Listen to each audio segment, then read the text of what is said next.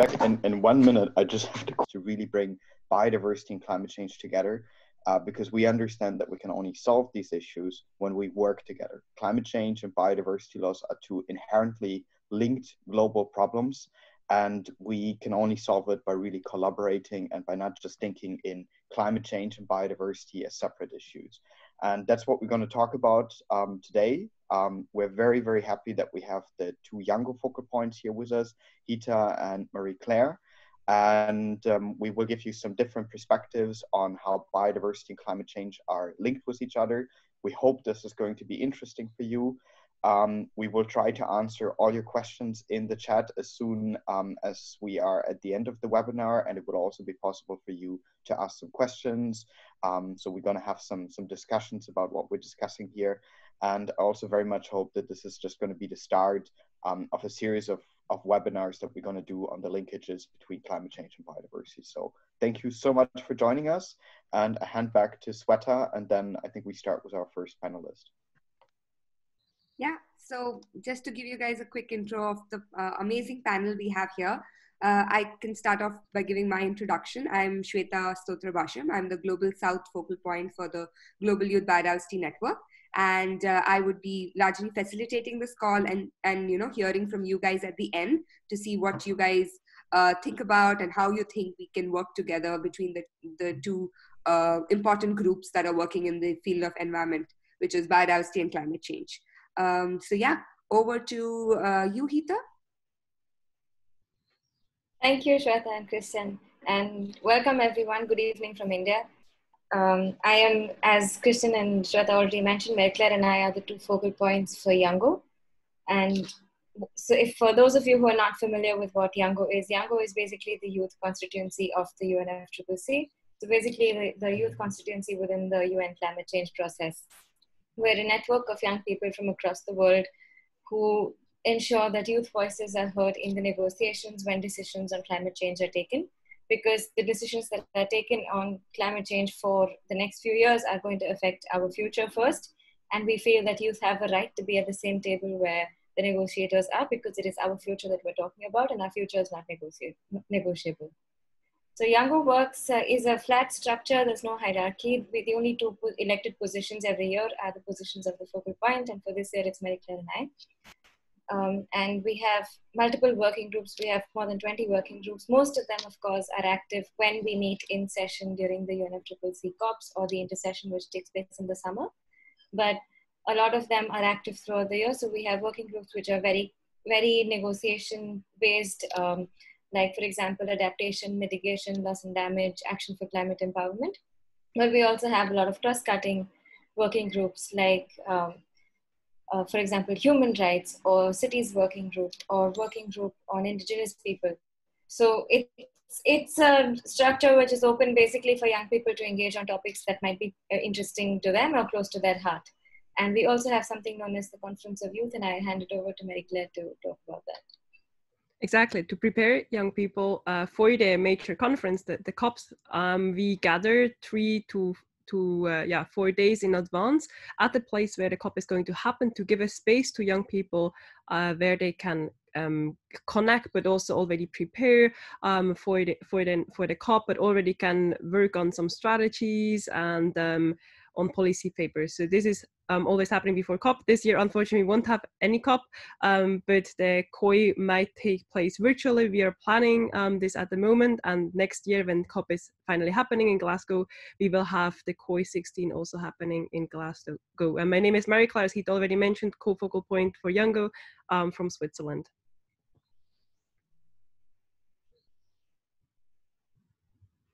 Back to Sweta for the GYBN presentation.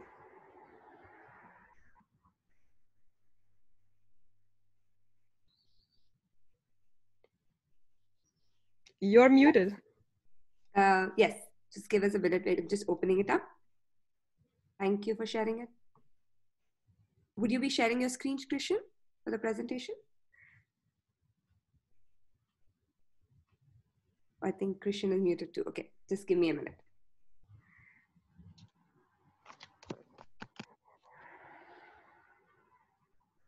Yes, what um, I just have a very short presentation about us. Sweta, you're muted again. Yeah, please go ahead, Christian. Thank you. Oh, okay. Uh, before we do this, maybe we should um, introduce our third panelist, which is Mona. Sure. Well, hi everyone. Or shall I introduce myself? Or- Yes, please. Okay. well, hi everyone. My name is Mirna. I am part of the GYBN steering committee for Latin America and the Caribbean. I am also co-founder of the GYBN Bolivian chapter, an environmental engineer, and my master's is on tropical biodiversity and ecosystems. So I am very happy to, to join this webinar because these are issues that are very close to my heart. Wonderful. Thank you so much, Mona. Um, yeah, talking a little bit um, about the Global Youth Biodiversity Network, we are very similar to Youngo. Uh, we're the official youth constituency under the Convention on Biological Diversity, the CBD. Um, but we're not just the youth constituency, we also see ourselves as an organization that supports capacity building and youth-led implementation measures on the ground. At the moment, we have 550 member organizations in 145 countries, and we have more than 40 what we call national and regional chapters, which are coordination platforms of young people that want to get active on biodiversity that are mostly active on the regional and national level. Um, in addition to this, we're bringing together around 669,000 youth from all over the world. Um, and we're running a program that is called Youth Voices. Through this Youth Voices Empowerment and Capacity Building Program, we are not just funding young people to participate in CBD meetings, but we're also um, organizing a series of regional workshops uh, where we do one week capacity building trainings on different aspects of biodiversity policy. We support uh, concrete projects that are led by young people and are happening on the ground. Um, and we're also um, publishing a number of publications. Our flagship is CBD in a Nutshell, which is an interactive guidebook to the CBD process on how it works. And we're very proud because it has not just become a guidebook for uh, youth delegates to the CBD, but also to negotiators that are attending meetings. So it's very useful if you're interested in that. Just head over to our website, gybn.org, and you can download CBD in a nutshell. Um, these are just like some of the few things that we're doing. If you're interested to join us, here are two links. Uh, you can either join as an individual member or as an organization. And if you have any other questions, then you're most welcome to contact me. Okay. Perfect. Sweta, you're Thank you, muted. Christian. Yeah, that was great. Uh, yeah, I think we would like to start off the webinar and go to our first speaker. Uh, Marie, I think you would like to, would you, would you like to be the first speaker for our panel today? Yes, exactly. Mhm. And I am going to talk about uh, the importance of food systems, um, especially uh, and interlinkages between biodiversity and climate change um, with a youth perspective, um, as we are all young here. Um, and this is also very important because next year we will have the UN Food System Summit. So the UN is really highlighting this, um, this importance of the transformation of our food systems. And it's a really, really crucial point um, when we talk about climate change, but also biodiversity. And very unfortunately, it's one of the most underlooked um, solutions, especially to the climate crisis, but also to the bio- biodiversity crisis. So I will talk a little bit about this and give you a short input. So first, of course, it's very important that um, we as young people, we are the change. Um, we have been seeing this uh, very often and we are the agents of change. So it's very important that we as young people also um, understand better about the importance of transforming our food system as one of the major solutions already mentioned. And for this, it's very important first to have a, a, vision to understand first the problems, but then have a vision because this vision is then ultimately leading to action and also to results. And this is what we urgently need. Um, and I would love to see so many things happening, um, especially now also in this Corona crisis, um, in regards to our food security and our food systems. Um, but yeah, talk a little bit about what real food is um, and to create this this vision. So it's really um, something which is pro- produced um, as close as possible, uh, so very locally, um, but also that it's in a really natural shape, as you can also see in the background um, picture. Um, so where I'm coming from, we I'm living in the rural area of Switzerland, so we see a lot of this food, but sometimes when I go to the city, then you can't really find um, this uh, real food anymore, which is not processed. Um, but also that we really respect the human health, but also the animal welfare um, and other dimension as social justice, and of course the environment, which is obviously linked to biodiversity and um, as well to to climate, and also that it's really important that the food we are eating actually is nourishing us. And it's very um, weird to me but actually we have a lot of food which has very very few nutritions. So the food we are eating is sometimes not even really feeding us. So this is a short um, definition of the vision of what real food um, is. And uh, the food system obviously is then the whole path the food is traveling or how everything is coming together um, so it's really from the field or already starting sometimes before it's going to the field um, all the way to the consumption. And as well very important uh, the post consumption so the, the waste. And um, this is also an increasingly big problem when we talk about uh, yeah the climate crisis um, so what young people can do is uh, is really about having the individual relationship to food again, so understand better um, what healthier eating is, and with this can ultimately transform um, how they are eating, but also um, leverage this on a maybe on a university or school level, um, but also, for example, having more sustainable food at this international conference. For me, it's always very striking at the um, International Climate Conference to having food which is not really sustainable and climate friendly. Um, but also uh, really having an, an policy approach, an advocacy approach to transform the production of our food system towards a more regenerative way. And so it's no longer, unfortunately, enough to only transform your personal um, habits when it comes to food, but also have an influence on the bigger picture um, to to transform to tr- transform it on an even larger scale. So as already mentioned, um, the problem is that we have multiple emergencies. Um, one of them is the climate crisis, and one of them is the biodiversity crisis, and that's also why it's so important to talk about the um, these interlinkages, um, and also that we have solutions to fix all of them. So it's not a lost case, um, and we can make it happen, and we can also make it happen very, very fast. And um, yeah, as already mentioned, um, it can be campaigns, but also yeah, changes on individual, but also governmental level is needed. So yeah, already mentioned, um, we from Youngo work uh, on the climate crisis. and we have GYBN who is working on the nature part, biodiversity. And um, in between, we also have a crisis when it comes to hunger, inequalities, obesity, um, and also a lot of uh, non, uh, like different diseases coming with food. So we have these three um, like clusters interlinked, so the climate, the, the health aspect, and biodiversity and um, yeah, you might know that our global food system is causing one third of global warming, the global warming greenhouse gases. So it's one of the major contributions to the climate crisis. Uh, so very often we hear a lot about mobility, we hear a lot about heatings, um, burning of oil. Of course, this is all contributing, but very often people miss out that um, our whole food system is causing so much emissions and it's one of the things we can could easily transform if we want to do so. Uh, so this is why it's so important to talk about the food systems in the context of the climate crisis um, yeah, it's not really a part of of of, um, of, this webinar, but just wanted to mention that uh, when we talk about food, it has the same inequalities we are also facing when we talk about biodiversity loss and the effects of climate change on on the communities. Um, so it's really a problem which is um, going also to the social um, social sphere of of um, of this crisis. And then, as you might know, um, over 1 million animal and plant species are now um, threatened of extinction. And very often you have probably also saw um, heartbreaking pictures of um, burning down the rainforest, uh, that there's more space for food systems. And this obviously goes in line with the loss of biodiversity and uh, species.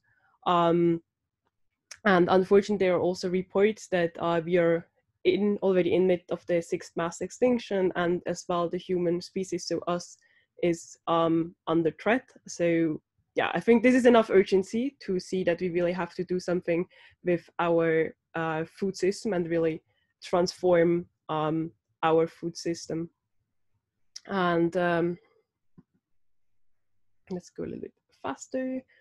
Um, yeah, just wanted to mention that there are like so many um, different topics related to the to the um, to the to the food systems, as well as, for example, infectious diseases and epidemics. As we are now in, um, there are already a lot of linkages between why, um, yeah, there are more of these pandemics um, when we have when we are living very close to to animals, which are obviously then transmitting it um, but also it can be linked to, to climate refugees and um, civil unrest, and also what we have been seeing now in the current crisis, um, the food insecurity, because um, very often people depend on the long food chain instead of producing locally. Yeah, so um, to say it in a in a short, that um, we really need to change because this is how our current food system looks like and uh, this cannot be um, something we, we need for the future. Um, massive uh, industrial agriculture from livestock, as you can see here on the picture, is one of the major contributions uh, to, to the greenhouse gas methane, which is very, very harmful for the climate crisis. Um, as well as some numbers. So the livestock um, supply, so mostly coming from cattle, um, is, is emitting, unfortunately, 40.5 um, percent of the world greenhouse gas emissions. So it's really a lot. Um, and when we want to stay below two or even 1.5 degrees um, to overcome the crisis I've been mentioning in the beginning, we really have to change the way how we are producing food and especially livestock. But also very important, and I guess like we will talk later about it, is is very important that about the soil, that the soil is very healthy. Um, that the yeah that the soil can also um, absorb a lot of a lot of CO2 and when we are losing um, this farmable land um, and as we have been losing one third of this farmable land in the in the past 40 years um, it's leading to desertification.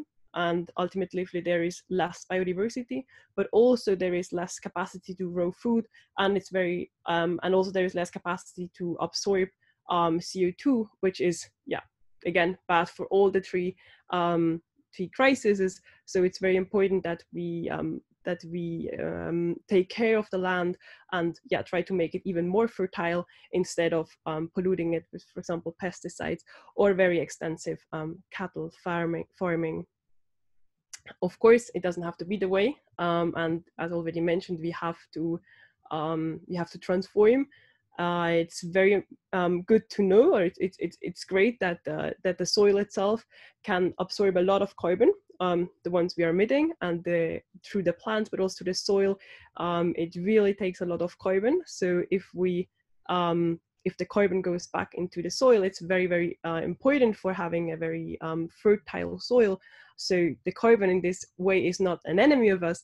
Um, it's just very um, has to be. And if it's too much of like the concentration is too much in the air obviously this is not is not healthy but we need actually more carbon back in the soil um, that it's healthy for uh, for our food system and it's also more healthy um, for the biodiversity of the um, different plants. So um, healthy soil uh, is really leading that the plants are healthy, that the animals are healthy on it, but also obviously that we are healthy and um, our planet would be more healthy. Um, and yeah, as you all obviously know, um, fresh water and and uh, and healthy soil is really um, something fundamental uh, for our human needs, but also again for nature and the climate. So it's there should be a way more um, focus um, on the soil when we talk about bi biodiversity, but also in the climate negotiations. And that's why I'm so happy that we next year have the UN World Food System Summit, where we can focus especially on these different interlinkages. Um, and can really point it out and bring hopefully different agendas together um, because the yeah there is enough evidence that healthy soil is uh, is very important when we especially look afterwards also the product you might have um, you might often see like the tomato as you can see for example on the right side um, which is which is which was growing on um, not really healthy uh, soil. And then it has also less nutrition um, and we very uh, little um, see like we don't really see tomatoes as the one on the right on the left side sorry yeah on the left side um the very red one which actually would be um how a nutritious uh, tomato looks like. So um, it's very important and was, what is then often happening that um, in the whole food agriculture system they put a lot of um, they process it they process the food first but also they add a lot of um, um, additional uh, for example salt sugar or oil on fats and also package it very um, extensively and add uh, flavors or colors um, that it looks more appealing as we actually wanted to have the food um, but with this obviously it gives a negative feedback um, loop back uh, and is obviously even more threatening um, um, threatening the biodiversity. So it's very important that when we as individual but also um, maybe if we can influence the, very, the place where we are working or the university that we are looking on the on the labels and um, yeah try to shop food as locally as possible uh, but also really check what are the ingredients um, are there um, are there any numbers you are not familiar you can find all the information of, of course online but also um, yeah try to um, reduce the plastic um, packaging try to buy food obviously um, as open as possible, that there is less um, packaging, which obviously afterwards is leading uh, to, to waste again. And when we talk about biodiversity, as I've been already mentioning in the in the in the intro, um, unfortunately, very often the the land was first um, rainforest or or any other forest, and then um, often the land gets deforested at the that the it can be used for farming. Um, but unfortunately after and very extensive farming after several years the land cannot be used um, so it will very often be um, put like on bare land and there it's very important. A lot of um, organizations are already working. I don't know if GYBN is also working it but i think you have a lot of organizations working um, on this is like reforest this bare land um, that there can be an there can be again like a forest. So there are a lot of organizations um, who are focusing on reforestation. So this is another um, this is another activity young people can be engaged in um, to combat the climate crisis but also doing something on biodiversity there is obviously very important to check what trees are going to be planted.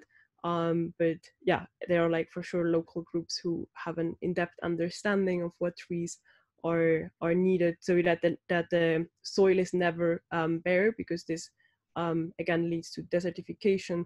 And this is yeah not good for the climate and not good for the biodiversity crisis so moving a little bit as we're already quite late. Um, but yeah obviously then when you have um, yeah growing plants it um, absorbs quite a lot of co2 um, so we have more um, carbon sequestration which is um, one of the yeah is actually the number one solution to the climate crisis and obviously also makes the water more clean. So reforestation is a really yeah good activity what we as young people can do. And it's also what's very important is that it's one of the cheapest solution. We don't need any high-tech solutions for this. Uh, so a lot of people can engage but also with a small budget which is very important especially for um, weaker economies. And it's also um, important for resistance, flood resistance, also fire or droughts. And um, also now we are in the decade of ecosystem restoration, so it's also contributing to this. As you can see, uh, yeah, having healthy um, agriculture and also um, the, the reforestation aligned with it um, can really increase uh, on a lot of different agenda. Um, obviously also the increased biodiversity in in the forest. So um, closing uh, with what we need. Uh, it really needs more public awareness and education on the topic of the importance of transforming our food system. Um, we need to have a complete view shift from a very um, extractive agriculture towards a regenerative um, local production, engaged with the like engaging people, but also really taking care um, on biodiversity aspects. But the second one, as already mentioned, um, we really need the government working on, on this side um, as they, for example, have can give subsidies to farmers who work on an um, organic, regenerative way. Uh, so we have to um, engage with with politicians, um, or maybe even become a politician ourselves and advocate more for um, redirected subsidies for farmers, um, for more healthy food campaigns, but also that public institutions um, are, yeah, actually selling or um, cooking with healthy with healthy um, food components, and also that the government sponsors and supports projects which are towards this uh, yeah new vision of um, of, of a healthy food system.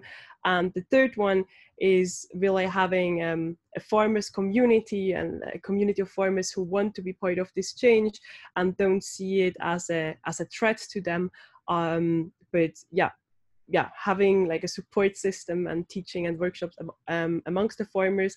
Um, and I think like the the last part is really we don't have time to do this step by step, but we have to bring it all uh, together, and this might be a challenge. Um, but I think now to the lead up to the UN Food System Summit is a brilliant agenda. We can all work together from the um, from the climate um, perspective, but also from the biodiversity perspective, also from the inequality, hunger, food perspective. So I think this is, yeah, brilliant that all of this comes together. And with this, I hand over. Thank you.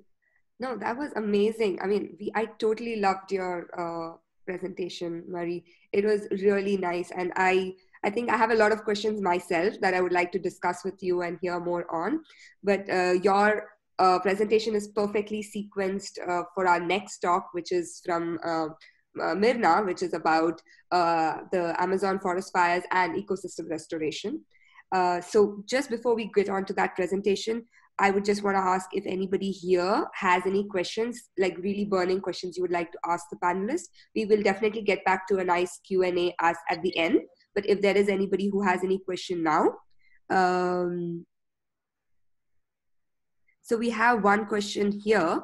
Uh, Marie, uh, you, can you see the question? Yeah, maybe you could answer the question first and then we go into the next, uh, uh to the next panelist. Uh, yes, I can share the slide. Oh, there is a question over there. Okay, um, I, I don't know if there is any um, platform where you can view the, like what um, plants are suitable for the environment, but I think it's like even if you have this on a national level, it's very hard because um, like for example in switzerland we have a lot of mountains. So higher up in the mountains obviously um, the the plants would be very very different. But it can be even like in on the same altitude if there is maybe a lot of sun or if there is like more water it can be very different. So i advise you to check if there is a local organization maybe plants for the planet. Um, but there are also like a lot of other um, um, yeah organizations maybe even a gybn chapter um, can assist you with this and so i think this would be yeah the best that also the the trees then or the plants are surviving um yeah i guess this is yeah like really check with the local teams i think this is, is the best um back to Sweta. Perfect. Uh, the, the, we just have one more question and then we move on. The next question we had is how can change in the food systems uh, lead to uh, climate action? Okay. Yeah, so as already mentioned, um, if we have a more regenerative and also sustainable way of farming, um, we can reduce uh, the CO2 emissions. Um, so really on the on the side of having um, less bare land, having um, less livestock, um, which is contributing with the methane, but also having more fruitful and more farmable and fertile land, which is yeah using a lot of carbon from from the air, so carbon sequestration. And this leads to very very cheap climate action um, and very very massive climate action. So it's really the i would say the the golden bullet to to take climate action is transforming the food system and i will share the the website and all the slides um, in the chat box in a few minutes perfect Thank you so much, Marie. Uh, yeah, you, your uh, presentation beautifully sequenced into talking about ecosystem restoration and the role it plays. And um, Mirna is going to give us a highlight on uh, the, the recent Amazon forest fires and how uh, ecosystem restoration work is connected to that and uh, the topic in general. So over to you, uh, Mirna. Okay. Thanks a lot. I'll start sharing my screen. Uh,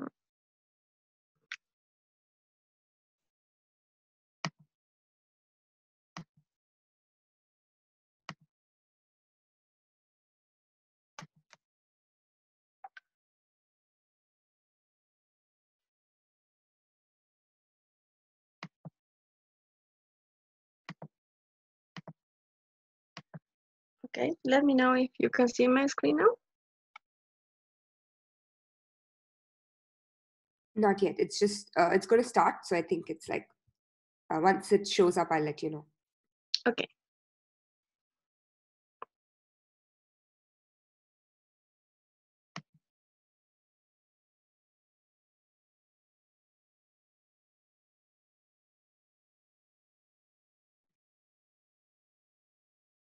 Midnight isn't yet showing up. Do you want to start the presentation or like share it with me and then I can show the slides?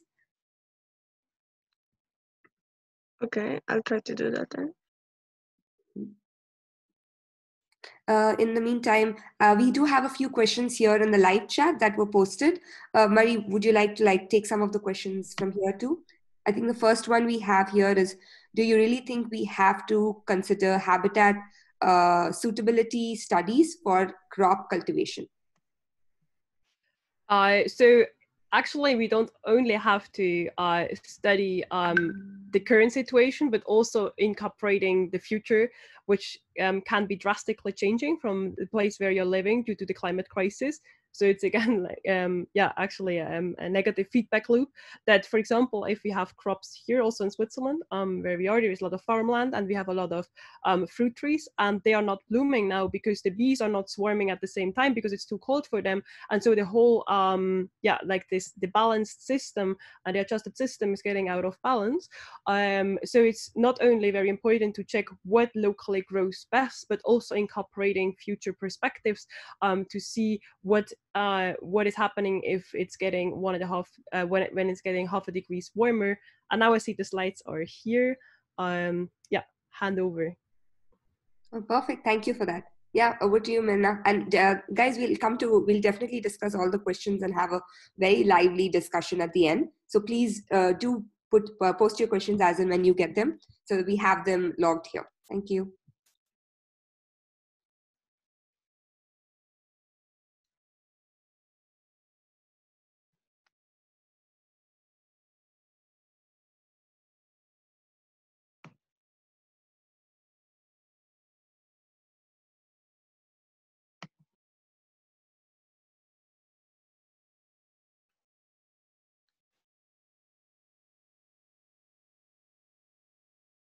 Um, Mirna, Okay. you can see your screen, so Yeah, you don't need to um, yeah, down, send me the presentation. Thanks.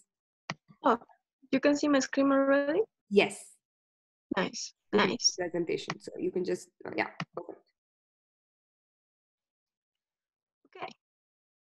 Then I'll start. Uh, well, uh, thanks a lot, Marie, for your presentation. I am happy to, to continue on that line because I will talk a bit about uh, a more local uh, perspective from what happened with the recent forest fires in the Amazon and a bit about the ecosystem restoration pathways that we can follow uh, and what happened to, bio, to the biodiversity that we lost. But this is very linked to, to the food systems actually, so it will be good to, to talk about this now. Uh, I'll start talking a bit about the Amazon and the links to our climates. Uh, maybe many of you have heard about the Amazon rainforest as something like the lungs of the planet. Uh, but this is not really true. what a climate scientist now uh, says is that it is better to think about the Amazon rainforest as a major carbon sink more than the lungs of the planet because uh, the forest indeed produces oxygen, but it also needs the oxygen to breathe, like the trees need the oxygen to breathe. And yet the, the oxygen production is almost neutral, but the carbon is not because uh, it actually uh, absorbs around a 5% of the carbon that is emitted. Uh, about like uh, from the 40 millions that is emitted in, in carbon dioxide, the Amazon rainforest absorbs 2 millions. And uh, this is a lot for the, for the whole uh, balance of the system. Um, as can you see in this map, uh, you can see the biomass uh, that is linked to the potential of carbon sequestration of the Amazon rainforest. And you can see that the biggest uh, potential of sequestration, the biomass, is near the Amazon basin. So it is very linked to, to the forest that is near to the Amazon basin. But also, there is a lot of a, a burning of the Amazon trees, uh, and lately it is increasing. So it is estimated now that the burning of the trees in the Amazon rainforest uh, and well in, in, the forest in global uh, accounts for at least 30% of the global carbon carbon emissions. And this means that uh, when we have a rainforest fires, we we can totally change the picture of a carbon sink and we can convert the forest into a major carbon emission source. And that is something that is very worrying because uh, all the carbon that is stored in the in the in the trees for years and years, maybe millions of years, now it's going back to the atmosphere in an unprecedented rate, and uh, it is very complicated to to measure how much it is, but it's definitely causing a major and balance in the ecosystems. Uh, so I am sure that uh, most of you saw uh, in because the Amazon fires of 2019, as the, the forest fires in 2019 that were spread all over the world, not only in the Amazon, were very heavy last year and they were in all the international news. they were very heavy in many countries of the Amazon, especially Brazil, Bolivia, Paraguay, and a bit of Peru. Uh, and they were really devastating. And people were not prepared. The governments were not prepared. Um, so this was a major drama and crisis. Uh, and as you can see on this map, um, we have here mapped the main hotspots of the forest fires in 2019 uh, in red. And the deforestation hotspots here are mapped in yellow. So you can see that there is an overlap of deforestation and fire in most of the cases.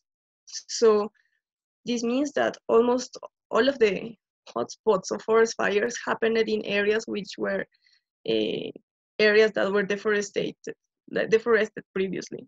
So there is a strong link between deforestation and forest fires. And this is something that uh, some governments still deny because they say that it is a natural process. And it is true, forest fires are part of a natural process. They happen every year, but they happen more in deforested areas. So when we have deforestation scenarios, it is almost definitely like for sure that we will have forest fires in this area in the next year, and this is why they are increasing. Uh, this is why this is very uh, linked with the politics. Uh, so the, the policy decisions that every country has uh, with regards to the forest uh, conservation actions or, or, forest management actions are going to have a direct impact on the forest fires. A clear example of this is Brazil, sadly. Uh, the president of Brazil is a strong supporter for agribusiness since the beginning of his mandate. He was against several organizations trying to safeguard the Amazon rainforest as World Wide Fund, also against indigenous tribes that are the the stake guards of the, the Amazon rainforest in this country. He incentivizes farmers to, har- to farm more livestock and soybeans, promoting large scale of burning of forest areas. So these are intentional burnings. And he also, during the, the year of the forest fires, he cut the funding to the National Environmental Agency, which was the main responsible of uh, providing the resources to regulate the interior of the country. So this is what led to this larger scale of unregulated forest fires, because at the end uh, they they went out of control, and uh, everybody uh, made a, a, a, big condemnation of of these policies of Jair Bolsonaro by multiple environmental agencies and foreign nations. but Bolsonaro suggested that non-governmental organizations were setting these forests, these forests ablaze to discredit the government. So he is like blaming civil society and, uh, and NGOs uh, for everything what happened, while the link between his policies and the forest fires is very clear. Something similar happened in Bolivia. Uh, Evo Morales, the previous president, uh, he, he, in the international arena, he has been always been a strong advocate of the rights of Mother Earth and Pachamama. But uh, in the ground, he had a very close relationship with the agro industry and the cattle industry sectors of the country, which are very dominant and uh, usually go against the, the rights of indigenous peoples and local communities. He released a package of laws which were incentivizing deforestation and forest burning at the beginning of the year. Uh, I won't mention the extent of the laws, but uh, they were authorizing forest clearing. Uh, they were uh, promoting ethanol and biodiesel, and um, this led to to massive deforestation. And when the forest fires were occurring in Bolivia, and all the civil society were uh, trying to get help from other countries, he denied to issue a declaration of national disaster by a supreme decree. And this is the kind of law that would have allowed to activate emergency protocols and receive international aid. But because his government denied to, to issue this declaration of national disaster, we weren't able to receive the, the planes and the, and the donations and everything because the national protocols didn't allow. Uh, also, just before the forest fires, his government signed contracts for meat exports to China, and we know that this incentivizes a lot the expansion of the cattle industry uh, that, that, happens by forest burning without uh, the appropriate control measures. How much biodiversity did we lose? Uh, I am sorry to say that I cannot answer to this question because nobody does. The problem is that the losses are uh, incalculable. Just to say, like, if we um, consider 500,000 uh, hectares of burned forest, uh, it represents, in economic terms, 1,140 million dollars. But this is just the economic amount. But the biological diversity and ecosystem services uh, loss are not easy to calculate because many of these forests were pristine forests in conservation areas that were not studied enough yet. In Bolivia, for example, the most affected ecosystem is called dry Chiquitano forest. This is a kind of endemic ecosystem that only exists in Bolivia. And uh, we think that in these forests, we had a 1,200 species of vertebrate animals and others, but from this amount, we only knew 20% of the richness. So more than 80% of the species that we had in this forest were not even known to science because there, were there was never the funding nor the resources to study the biodiversity that we had in this ecosystem. So the, the uh, research and the or non-governmental organizations were doing their best to try to study and understand this type of forest that is very special. And then we lost it due to the forest fires. So we don't even know how many species we lost. And this is something that it's very hard to, to know, but it's important to understand. Uh, and well, uh, can we restore it? Uh, fully restoration is not possible in these areas because we don't know which was the previous biodiversity state, so we not we cannot know how to go back to this state. But in general, uh, ecosystem restoration is never a, a fully effective.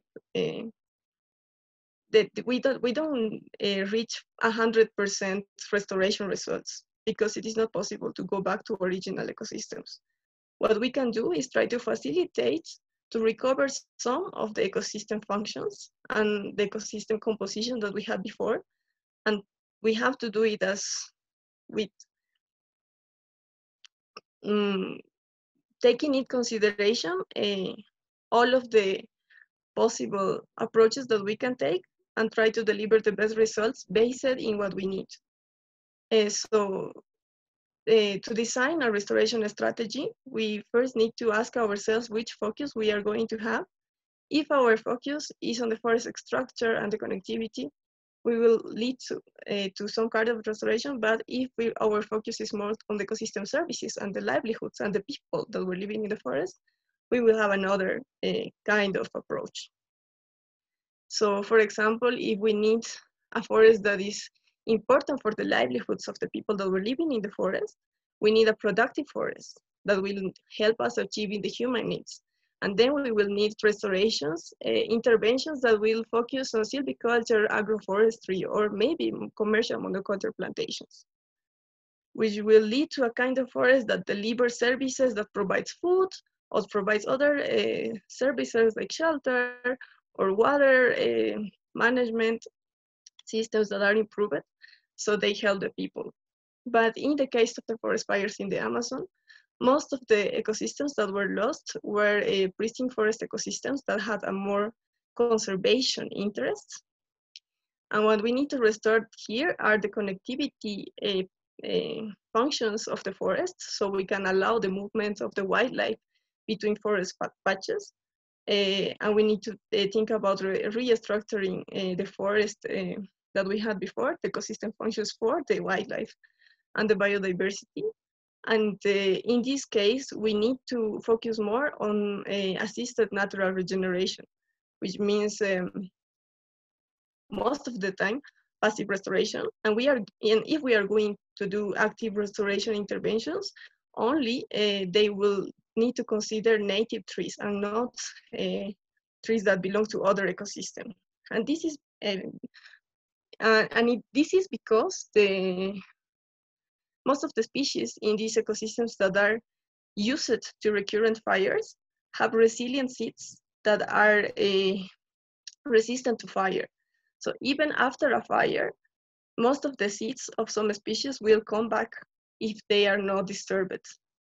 But if we have a restoration approach that is bringing in exotic species that are not native to this kind of forest, even if we think that they are from the same family and they will do so more, more or less they will be similar to what was there before. They will compete with this species and they will not be able to, to, to grow out of the seeds because they will have competition. So the best approach here is to not touch the forest after a forest fire, to declare, to declare priority conservation areas, close the areas, and let the nature re regenerate itself and uh, this is very important because uh, many governments of the countries that were affected by these forest fires now are targeting international uh, sources of funding to start restoration um, activities without taking into account these kind of things because they are just after the funding. And it is very likely that they will start these restoration approaches uh, doing more harm than good to the pristine forest that was there before.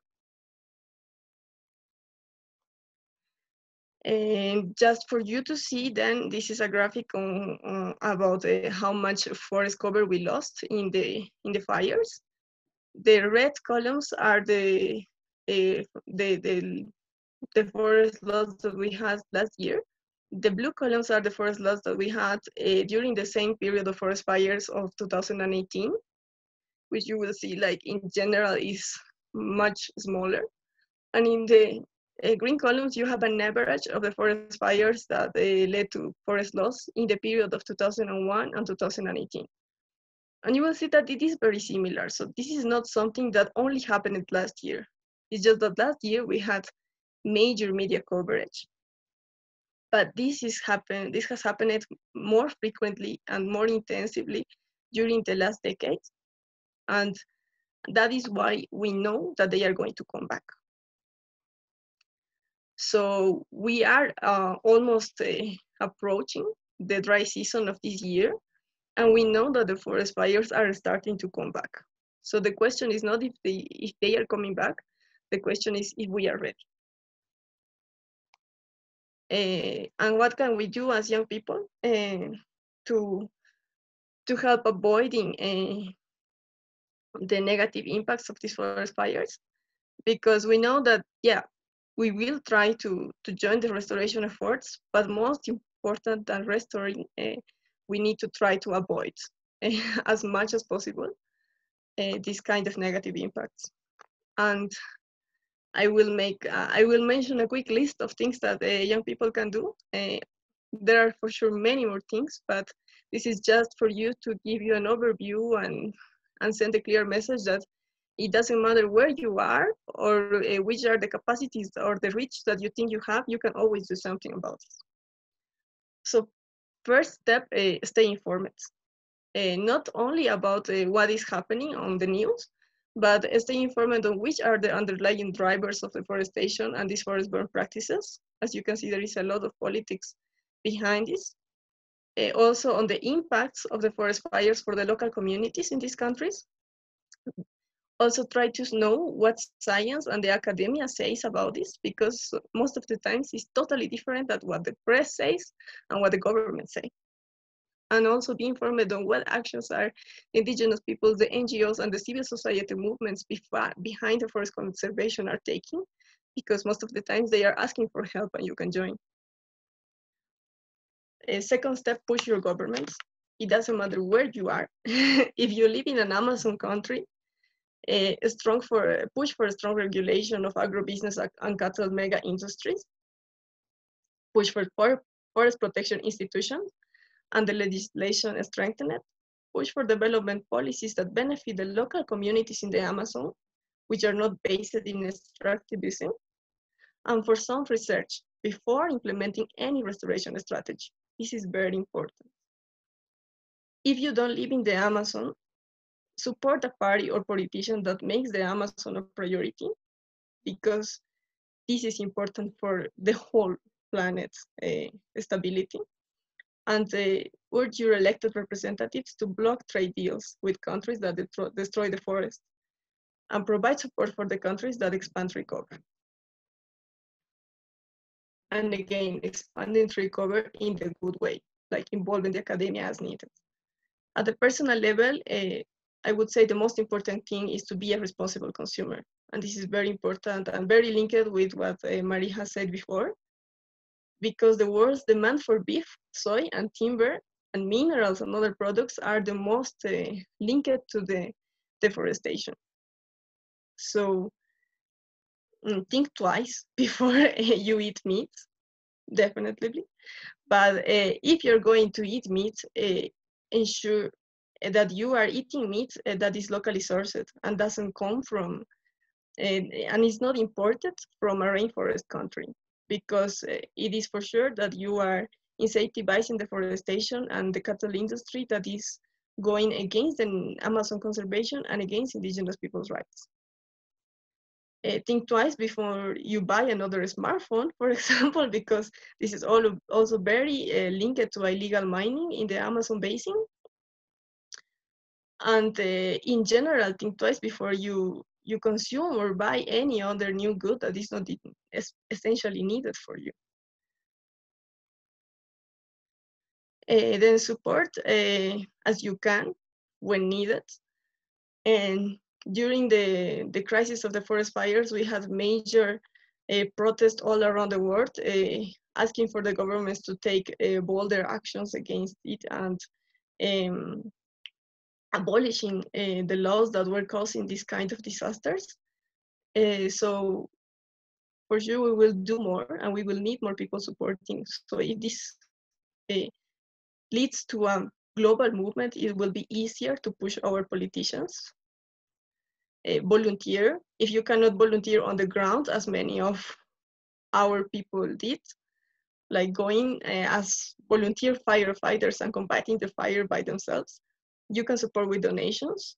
They can be in kind or they can be monetary donations because it's always needed, especially for the equipment of the volunteer firefighters because they were not ready and they will not be ready this year either, we know. Uh, you can help uh, with donations, we can help with campaigns. You can, oh, you can even help with art. We have a massive uh, support from the artist movements uh, to spread awareness of the urgency of this situation. And last but not least, uh, wherever you are, fight for indigenous rights. Because uh, it is not only uh, something rhetorical, it is not poetical, it is true that indigenous peoples and local communities and native communities are the most important um, people who is trying to protect what is left from the Amazon rainforest.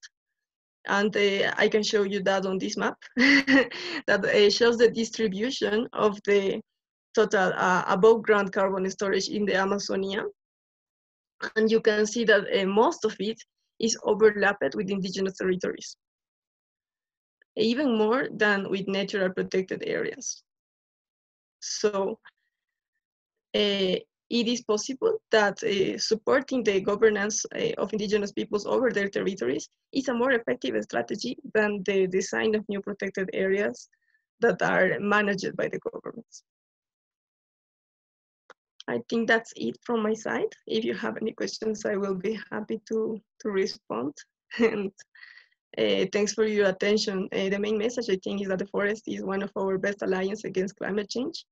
And uh, the Amazon is home for a big, big percentage of the species that we have in our planet. So it is uh, definitely climate is at the stage, but is way more than climate. Biodiversity is is also at stage. Thanks a lot. Thank you so much, Mirna. I think uh, it this your presentation really made us rethink a lot of things and uh, actually understand a little more in depth of what's happening in the Amazon and you know a more depth depth about what is happening with the forest fires and how restoration work can really happen and how can people from across the globe support. So thank you for giving us that overview. We do have a lot of questions from people and uh, i uh, just want to let you know that we will be logging in all the questions you've given in the open session.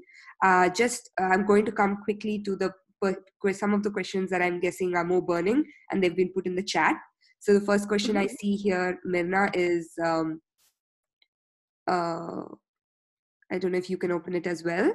It says, uh, yes. uh, yeah, can there be any political intervention on massive deforest on massive deforestation in Brazil in view of the fact that the last fire was started in order to uh, carry out soy plantation since uh, it became the first country in the world to export soy?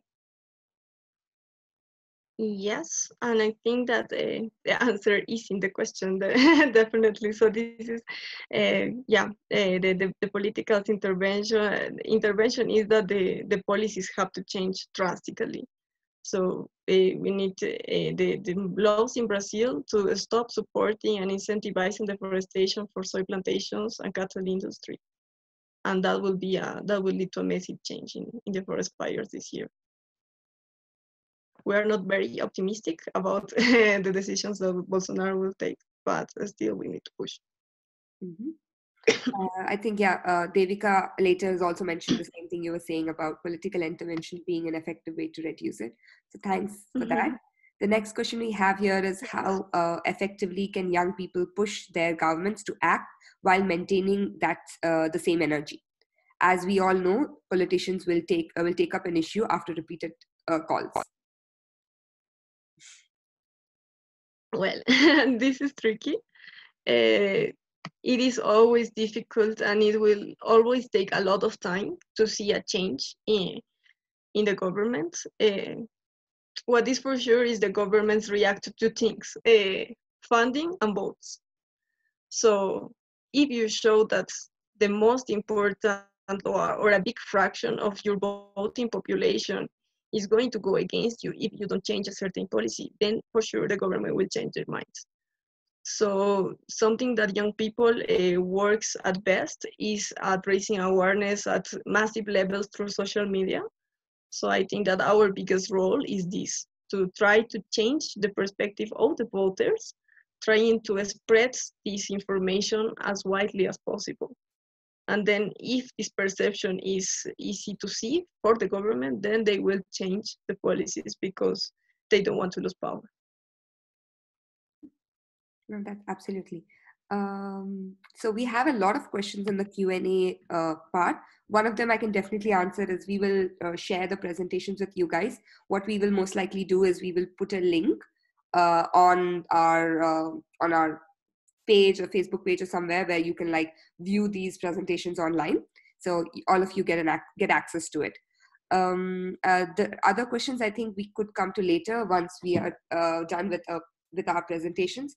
So the next one is going to the next panelist uh, Hita is going to dive deeper into the wildlife uh, scenario and the role that wildlife and biodiversity is playing in the climate crisis. So over to you, Hita. Thank you, Sweta. And uh, thank you, Mirna and Marie for those amazing presentations. From what I'm going to say, a lot of it is not necessarily very new information, but the reason I'm going to mention it is because sometimes we take information for granted and we forget to act on it.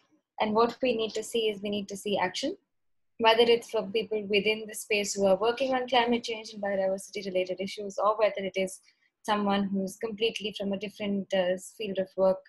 Because at the end of the day, we have something which is a crisis which is, um, you know, is questioning our uh, human survival.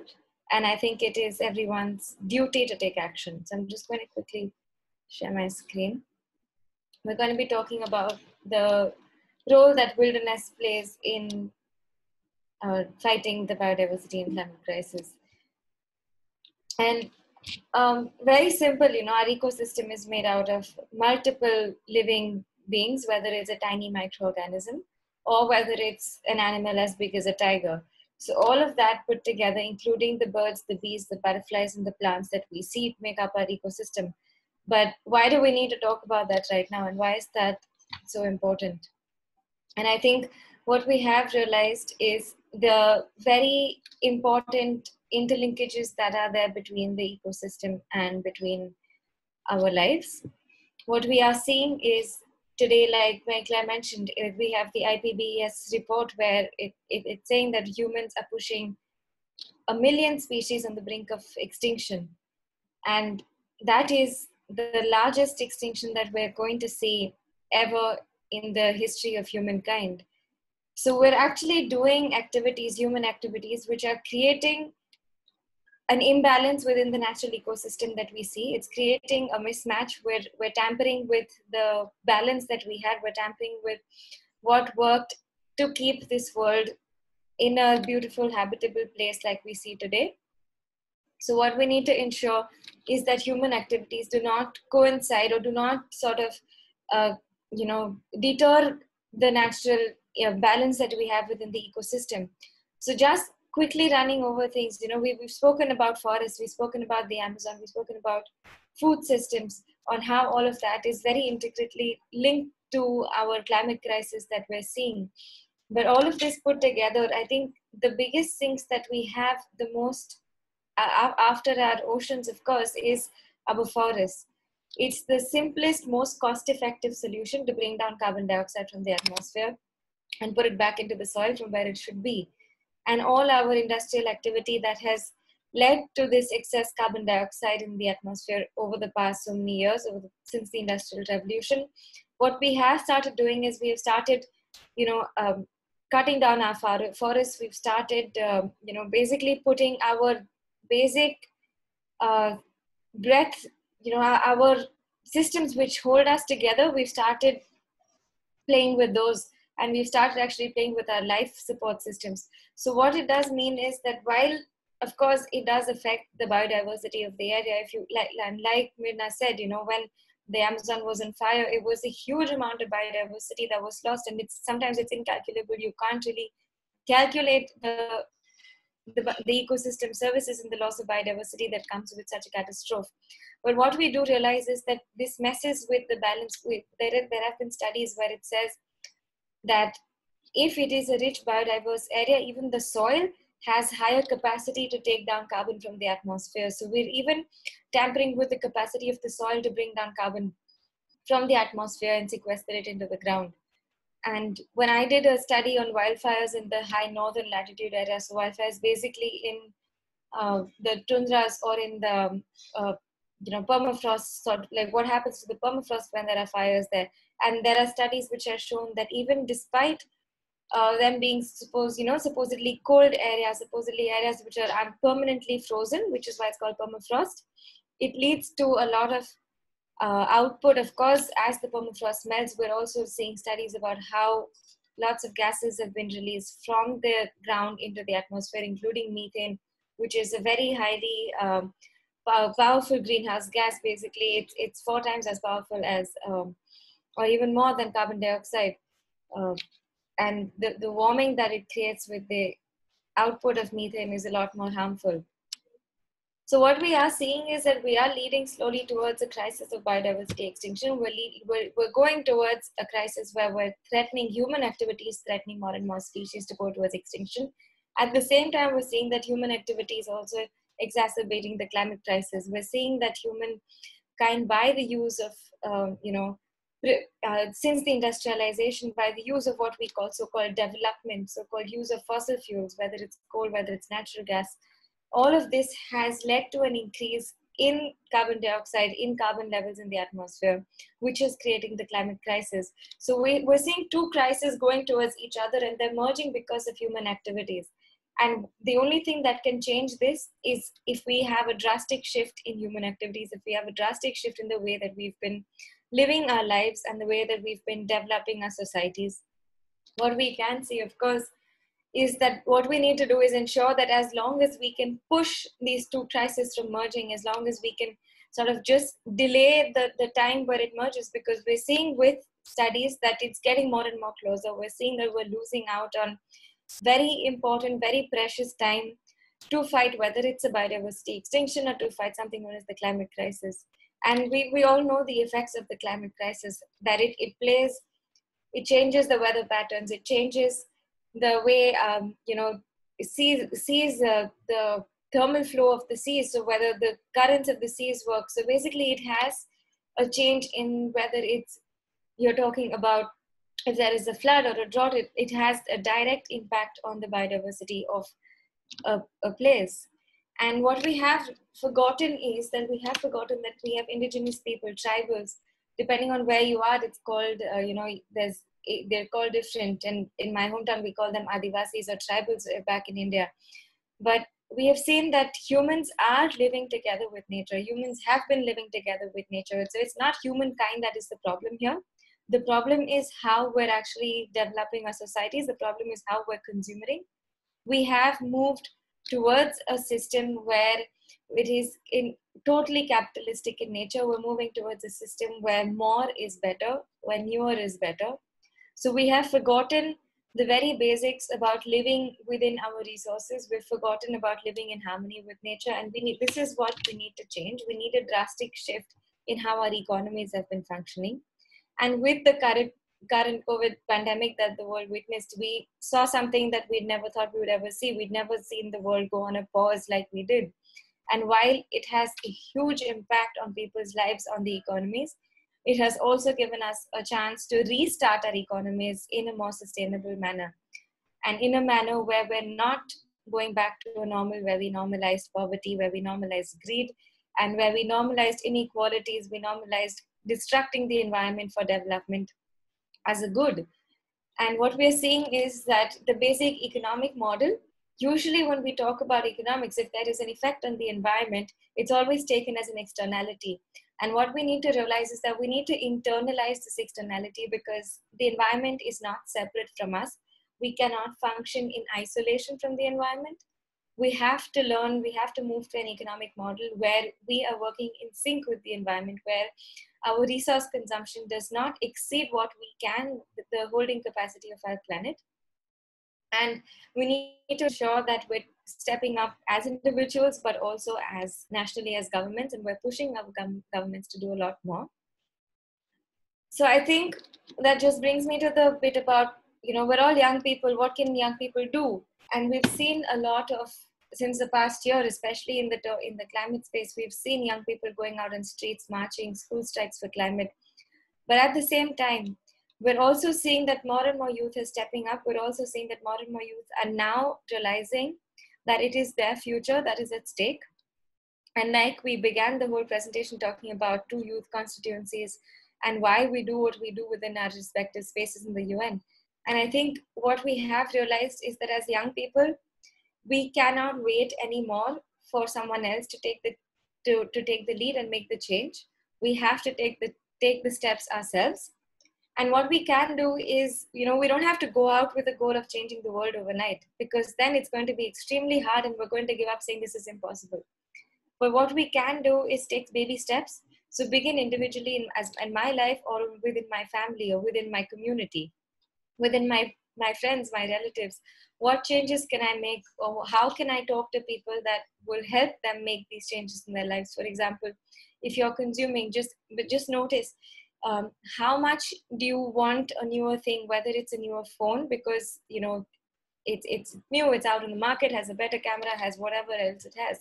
Or as simple as you know you go out with friends and you go to the mall you see something cute and you buy it and you come back home. And what is the impact does that have while you know the mall is not the, the store is not going to run out of the cute top that you bought for example. But what happens is you know right from where the cotton was sourced if it was a cotton cotton top uh, uh, or, or a shirt for example right from where the cotton was grown the water and the energy that required for it to grow from the cotton to then get transported to get converted into yarn to get converted into cloth and the entire process from the cloth into the t-shirt into coming it into your store right next to your house. The entire thing consumes a lot of water it consumes a lot of energy and it definitely the whole transportation process all of that has a massive intake of fossil fuels. So without realizing with you know just by going out and buying the cute little t-shirt that i thought did no harm to anyone it actually has a larger impact on how much resources are being consumed. So i think this is what we need to realize that every single action we do and every single thing that we use use consumes electricity consumes water consumes energy. Of course, I'm not telling you to go back to nomadic times and not use anything. We wouldn't be here giving this webinar without the technology that we have, without me using my computer. So while we do need to use resources, while we do need to survive in a system or in an, in, in an ecosystem that we've created for ourselves, we also need to realize that we can't go back to living life like we like we were um, we can't go back to a system where we're needlessly consuming, we're needlessly wanting new things, or we're needlessly just buying and wasting and throwing out of the, you know, throwing into the bin something that we've used barely a couple of times. And I think what, what I'd like to end with is small success stories from people, very uh, indigenous people living here within my country.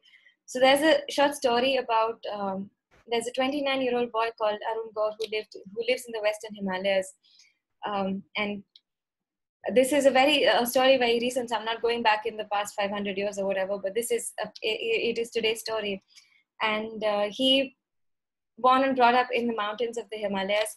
What he did was, uh, since he was a young boy, he started learning beekeeping. Of course, because he lived in a in a system where they, they grew honey, where they had bees. So since he was a young boy, he started learning beekeeping, and eventually he's now an actual he he trains in beekeeping. But along with this, what he also realized was that he saw the importance of his natural lands. He saw the importance of the forest and the, the community around him and how the community, his village and the forest were very interlinked and could not be separated from one another.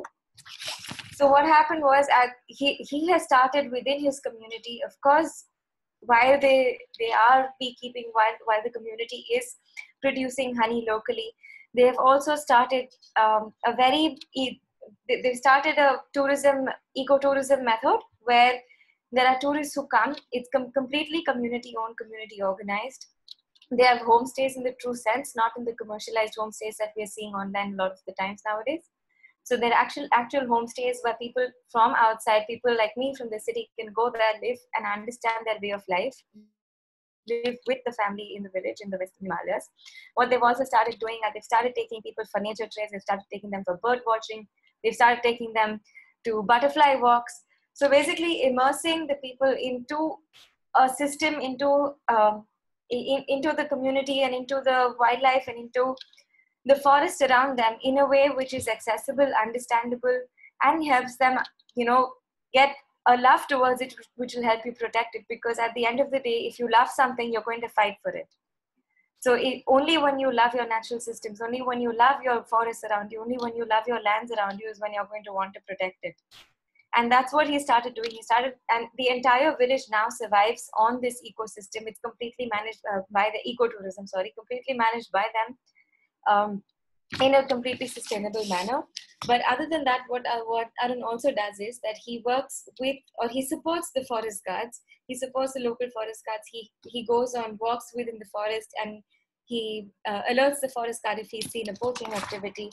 Uh, he also through this sometimes because the the government or the forest department has um, you know, does not have a trust within the community because the community doesn't trust them. They come as external as external people within the forest where the community lives. So with this interaction, narun has made the forest department and his community trust each other more. So the entire community now works together to protect the forest that is around the village. Even though this that doesn't necessarily fall under a protected area, it is a lot more biodiverse than protected areas alongside it there are animals, bird species that have been seen here because it has been naturally protected by the communities together with the forest guards. Um, who have, you know, so they've seen that, you know, working together has definitely benefited not just the community, but also the, the, the ecosystem around. And uh, to just put it very simply in Arun's words, he said, you know, that when you realize that you have the potential to make a change, you should definitely do that. Put that in the larger uh, well-being of, of the world because if you're doing it only for yourself, it's extremely selfish, and we're all here to live together with each other. Just sort of transphrasing what um, Arun was saying in Hindi. So I think I'd like to end on that positive note to see that there are success stories happening in our backyards. While the government in India is actually very similar to what on the environmental side, or very similar to what Brazil has been doing, we've within the lockdown we've um, you know leased out so many uh, environmental laws, and we've it's it's it's not even fun to talk about anymore because it's just so much as that we're seeing coming to us every day different kinds of news about what the ministry is doing. But at the same time we're seeing positive stories of change within the community by young people whether they're educated whether they're not um, i think each one of us have the potential in us to make the change you, you do not need to be at a particular position in a particular organization to be able to make a change so i'd just like to end with that Thank you.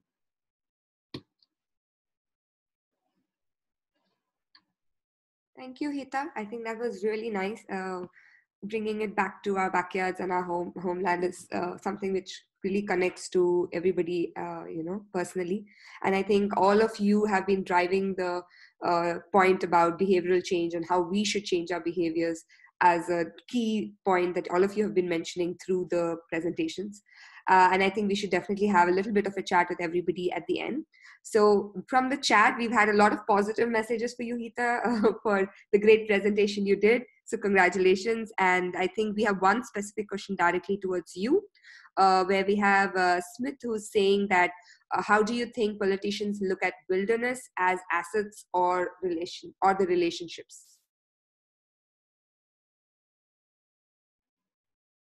I think um, I mean, talking very about politicians in India, I think they're definitely lacking to see the connection between um, wilderness and using them as assets. They're definitely seeing it as open space that can be degraded.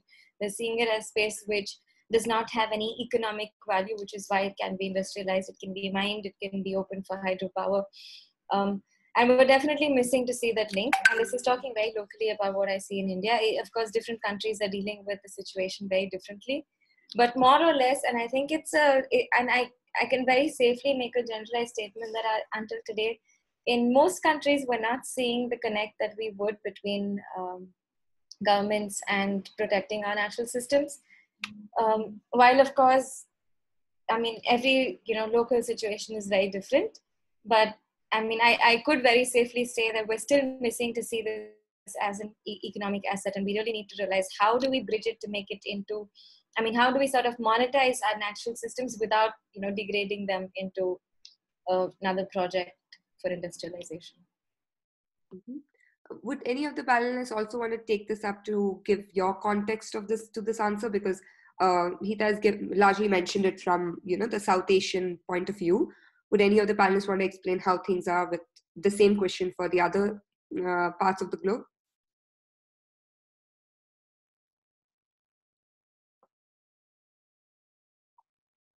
Christian, maybe? Um, I like first of all, Hita and and also Mona, thank you so much for the presentations. This was so enlightening to see. And sometimes when we're stuck in our own ways and trying to manage so many political processes, it's good to like get reminded what this really means. So thanks a lot for this. Um, I think one aspect that we didn't look at so far is the impact of not just our uh, consumption behavior, but also like um, the overall political responsibility that we all have. And I think Mona pointed at it when when she spoke. Uh, there are two things that politicians care about: that's vote and that's funding. And when we look at the funding side of it, especially here in the global north, uh, there is also a lot that we can do, especially when it comes to trade policy. Like uh, the EU is, for instance, currently negotiating a trade agreement with Mercosur, with a um, group of Latin American countries.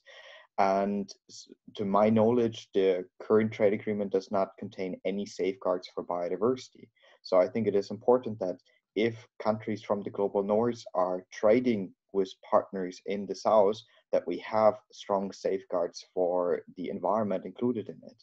And this is currently not the case. And I feel if you talk to maniac political leaders like Bolsonaro, the only language that they understand is unfortunately money. And I think um, here in Europe, we also have a responsibility to vote for politicians that go for strong trade agreements that ensure that the environment, biodiversity in particular, is being protected because um, this is the only way we can deal with, with maniac leaders like Bolsonaro or Trump for that matter.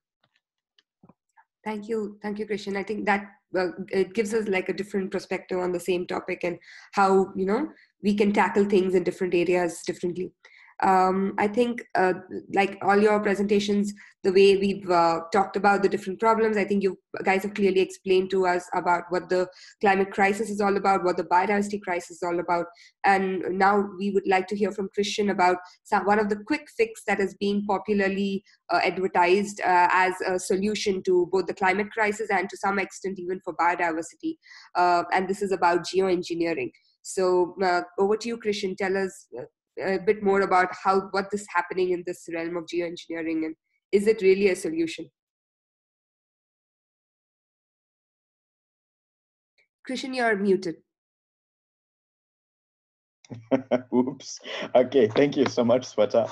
Um, I have to say right away, my presentation is going to be much more technical than what Hita and Mirna has presented. So I apologize if it's by far not as exciting, but it's still a very, very important issue. Um, before I go into the details of geoengineering, I just wanted to remind us all of, of a couple of facts that are really important to remember. Um, I think these are things that um, the people we're speaking to um, are all very well um, well aware of, but there are a lot of people out there that sometimes tend to forget it. Um, climate change is a major for for biodiversity loss, and it is predicted that it could even become the most important cause of biodiversity loss in the next 80 years. Um, these are all things that I think are very well known. We already talked about forest ecosystems and how much they're affected by climate change. There is another ecosystem that is luckily coming more into uh, the media spotlight. That's corals. Corals are also massively affected. And most of the studies we have are clearly predicting that we're probably going to lose most of the coral ecosystems due to the warming of the oceans. Um, yeah, this is just like to summarize it. One in six species is probably going to go extinct uh, because of climate change. Um, but there are also a lot of other drivers of biodiversity loss that uh, we already talked about. Um, this is, we have um, a natural background rate of biodiversity loss, uh, this is natural, this is completely normal, that over time, due to evolution, we're losing species. But right now, the rate that we're having is 100 to 1,000 times faster than what it normally should be. And uh, Hita just like quoted a lot the the IPBES report that came out last year, and there was like this this um, main line that they promoted that 1 million species is on the brink of extinction. And basically, the time that I'm using to speak to you, 20 minutes is when one species goes extinct. And that does not include all the species that we have not discovered yet. So, how does that relate to climate change? Um, here's a graphic from the most recent IPCC report. Um, and the scenarios that they're seeing in the uh, UNFCCC, we have an instrument that is called uh, the nationally determined contributions. And these are basically the pledges that uh, countries are making on a mostly voluntary basis, in which they specify uh, how they are going to mitigate uh, their CO2 emissions. And what you can see here is that um, what countries have pledged so far is definitively not sufficient to even keep the two degrees C target. And um, as you all know, uh, there is um, an emerging consensus that the two degrees C target is, is not sufficient, that we actually have to aim for 1.5 degrees um, or even less. So uh, with the current pledges that we have from countries, we're moving towards a scenario in which warming could occur of at least 3.6 degrees um, by 2100. There are even other people that are saying it could go up to five degrees or even more. Um, so this is a huge problem that we're currently facing. Um, what is also relevant when we look at this is that the most recent IPCC report was uh, calculating its emission reduction um, trajectories based on the assumption that we're going to achieve something that we call negative emissions. And negative emissions is basically when we take CO2 out of the atmosphere, when we are um, absorbing more CO2 than we are emitting. And what you can see here in this graphic is that IPCC is assuming that we will probably have what we call an overshoot scenario, in which for some period in time, we don't know for how long, we're going to be above uh, the level of emissions that we should have in order to keep the 1.5 or the 2 degree C um, emission reduction target. And in order to mitigate that, we would have to take out CO2. So um, all the assumptions in the IPCC are currently heavily based um, on the assumption that we will be able to remove CO2 from the atmosphere. And there are currently two approaches that are being discussed. One is um, what is being in the media popularly called nature-based solutions. As the Global Youth Biodiversity Network, we prefer uh, the term ecosystem-based solutions. Uh, there's a lot of talk about it at the moment. Um, a lot of people are questioning whether uh, nature-based solution is going to have the same fate like the REDD Plus mechanism, something that is not really going to have a real-world impact. Uh, there is also a lot of greenwashing uh, going on when it comes to nature-based solutions. So it's very important that we follow this, that we uh, make sure that if we go for ecosystem-based solutions, that they're really uh, benefiting the whole system and are not just focusing on specific elements of, of, of nature-based solutions that are focused on CO2 absorption. So this is like uh, one approach, ecosystem-based solutions, uh, big debate about this. And the second, and that's what we're going to talk about now, is the technological uh, perspective, and that's geoengineering. So geoengineering can come in a lot of different forms, and I will basically uh, describe to you what are the most important technologies that are currently being discussed. And I think then we can also quickly conclude whether this is a true solution or a wrong turn that we could potentially go. Um, basically, what geoengineering means is uh, that they are intentional, large-scale technological manipulations of the Earth systems. And for short, we call this techno-fixes. There are three main categories when it comes to geoengineering. The first is solar radiation management or SRM. I'm going to explain this in a second. Then we have CDR for carbon dioxide removal. And then um, eventually we have weather modifications. So these are the three main categories of geoengineering.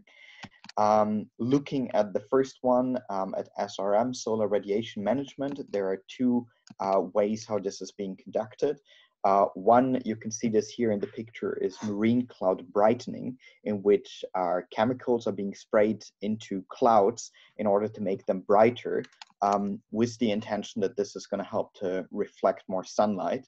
Um, and uh, the additional emissions would then be absorbed by the ocean, leading to higher temperatures in the oceans, uh, which has a lot of detrimental effects, especially on corals, but on also a lot of other forms of marine life. Um, another popular geoengineering technology is stratospheric aerosol injection. You can see this here, um, where you would have airplanes uh, flying over clouds in order to spray them so that they can rain off. And all of this has um, effects on the wider ecosystem that we cannot predict. We don't know what is going to happen. Uh, then we have uh, what is called ocean fertilization, uh, which is basically a technology where ships would spray iron sulfate into the oceans uh, with the intention to make a phytoplankton grow and also support the absorption of CO2 in the oceans. Again, with uncontrollable um, effects on the wider ocean ecosystem. And finally, a, um, a, technology that is being popularized at the moment is bioenergy carbon capture and storage, or BECCS for short, uh, which is another of these technologies that is highly uncertain. We don't know if it's ever going to work. Um, but a fact for this is that we would have to change um, the system. We are growing uh, biofuels on land massively. We would have to we would have to expand this. Um, and there is a high risk that this would especially happen in, in areas like in Latin America, but also in Southeast Asia and a number of those countries where we have very sensitive ecosystems that are super important for biodiversity. And there are assumptions that we could lose 90% um, of unmanaged forest ecosystems if we would convert this all into um, biofuel plantations. Uh, the problem is that the most recent IPCC um, report is actually focusing on this solution. They're assuming that this is something that can be applied on a great scale.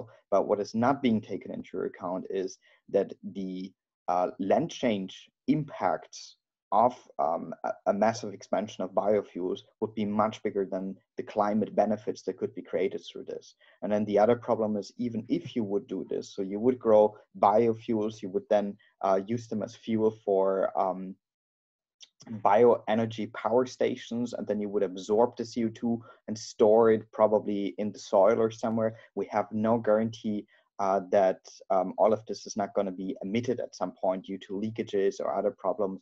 And the most important point here is that there is no practical application of BECCS so far. We don't know if this is even going to be functional, but a lot of scientists, a lot of parties um, are putting a lot of focus on BECCS. So that's a massive problem that we're facing. Uh, what is unknown um, quite widely is that the CBD actually recognized the risk of geoengineering already years ago and um, in 2010 at CBD COP10, we adopted a COP decision that is establishing a de facto moratorium on geoengineering. You can see the text here. Um, and it is basically saying that no climate related geoengineering that would affect biodiversity shall take place. Uh, the problem is that we have a lot of countries that are um, either not aware of this or that are blatantly in breach of a decision that they all have adopted. And here you can see an example. Uh, this did not get a lot of media attention um, due to COVID 19, but just in the middle of April 2020, um, there was a huge um, experiment that took place in the Great Barrier Reef uh, with ocean fertilization. So you can see this here. This was financed by the Australian government, um, a party to the CBD.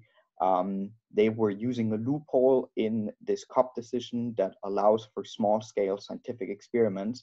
Um, but the problem is that a lot of um, actors, um, the Canadian government is another one, um, are trying to basically push for geoengineering solutions through the back door um, by conducting these small scale um, experiments. And we really don't know where this is going to lead to. So um, this is not just something out of a science fiction movie or a debate that is coming up and sometimes dying down. There are a lot of actors that have strong interest in that. And if we go back to my initial slide in which you can see um, the climate scenarios, uh, the big risk here is that we're probably going to have an overshoot, that we will emit more CO2 emissions. Um, than we should in order to keep um, our climate targets and then politicians will have to look for a solution. So the risk that in the next couple of years, geoengineering is um, going to become this comfortable excuse and that people will um, basically present this as something where we have to decide, do we want to protect our whole planet or do we want to protect biodiversity? Uh, this is like the propaganda that we're going to see. And I think it is crucially important that we're aware that everything is connected and that we cannot just like um, manipulate the Earth system, hoping that we're going to protect it from climate change um, and ignoring the impacts this is going to have on biodiversity.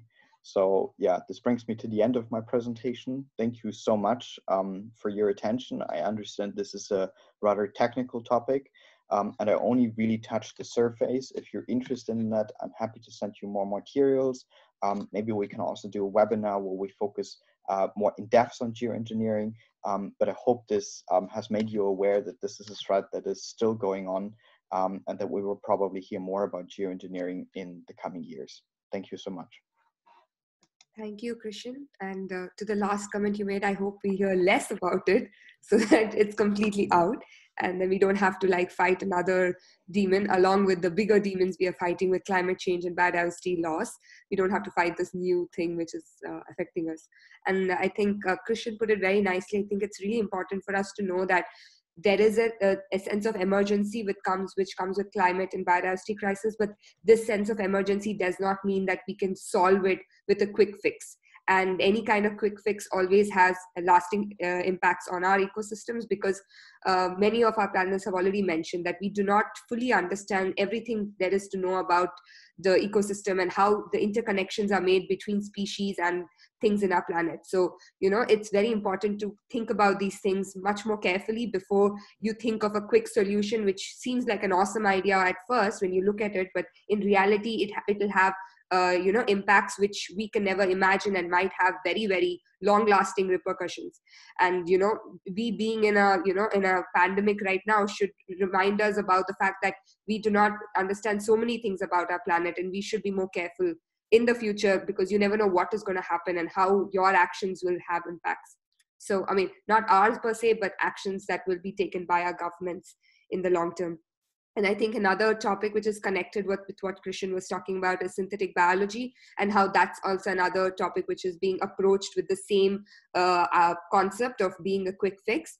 Uh, do you want to just give a brief um, uh, overview about that also, Christian?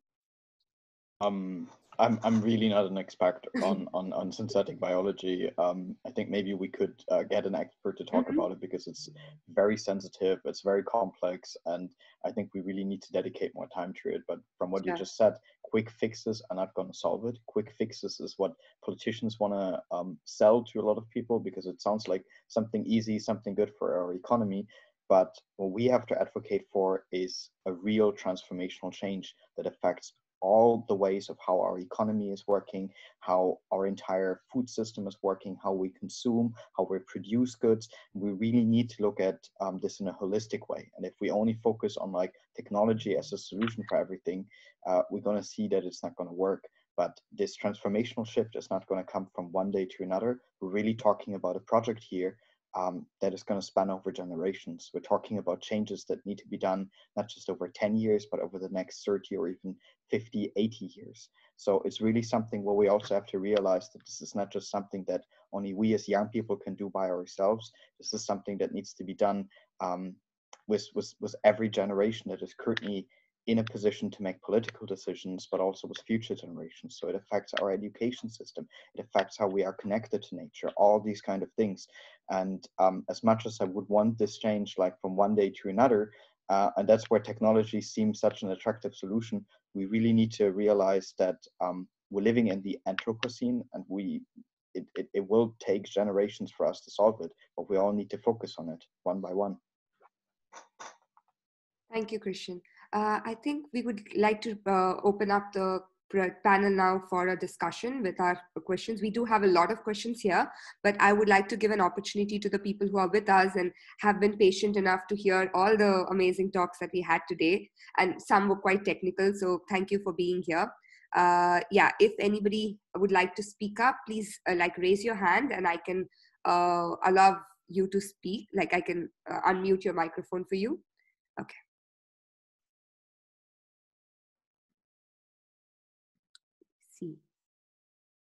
I think you'll be allowed to speak now, uh, Rahim. Hi, everyone. You can hear me? Yes. Uh, good morning. This is Rahim Smith from Grenada. Um, Christian, I just wanted to know which countries have led major uh, geoengineering projects? Um, there have been a couple. Um, what comes to my mind immediately is like the example that I have shown from Australia. Um, but there is also Canada, which has conducted a number of geoengineering experiments. Um, beyond that, it's rather small. Um, there have been some attempts by German scientists to conduct um, geoengineering experiments. So what you can see here is mostly countries in the global north, because if we would want to apply geoengineering and create profit out of it, it's something that big companies are going to do. Um, so I'm not uh, currently aware of any example from the global south where such an experiment was conducted.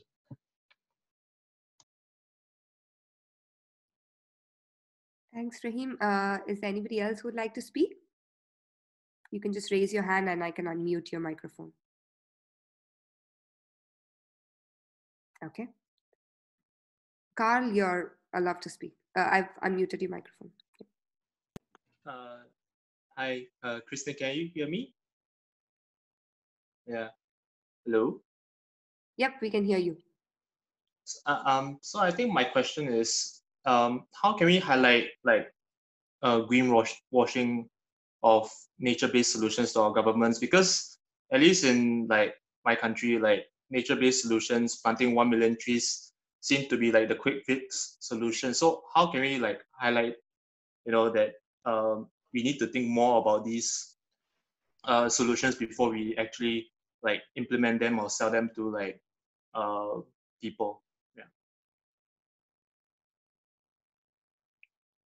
Yeah. Christian. Um, I, I don't want to talk all the time. Um, just a few points on that, and then maybe um, others here from the panel can also comment on that. Um, I think the problem is not only nature-based solutions in themselves. The problem is what we make out of it. The problem is that we need a bigger debate um, in our societies about the planetary crisis that we're facing. And what you just pointed out is that government's always trying to like um, select uh, one element and then present it as the solution for everything, like with nature-based solutions. Um, the problem is that we're living in a time where everything is incredibly complex. And a simple solution like nature-based solutions is not going to work. If we want to do nature um, nature-based solutions right, then we need to get it right.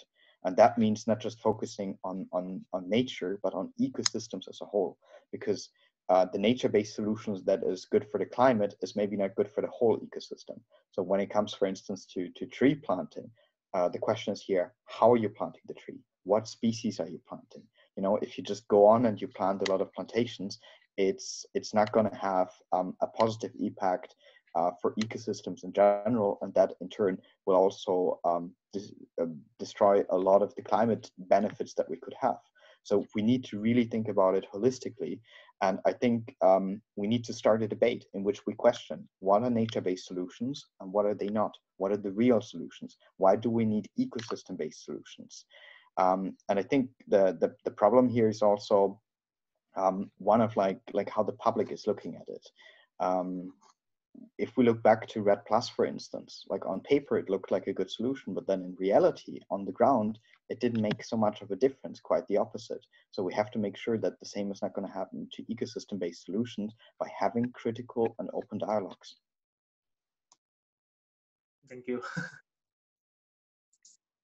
Um, Maybe Mirna, you could also comment on that, like from from a more global south perspective, because I think in your region, nature-based solutions are also quite important.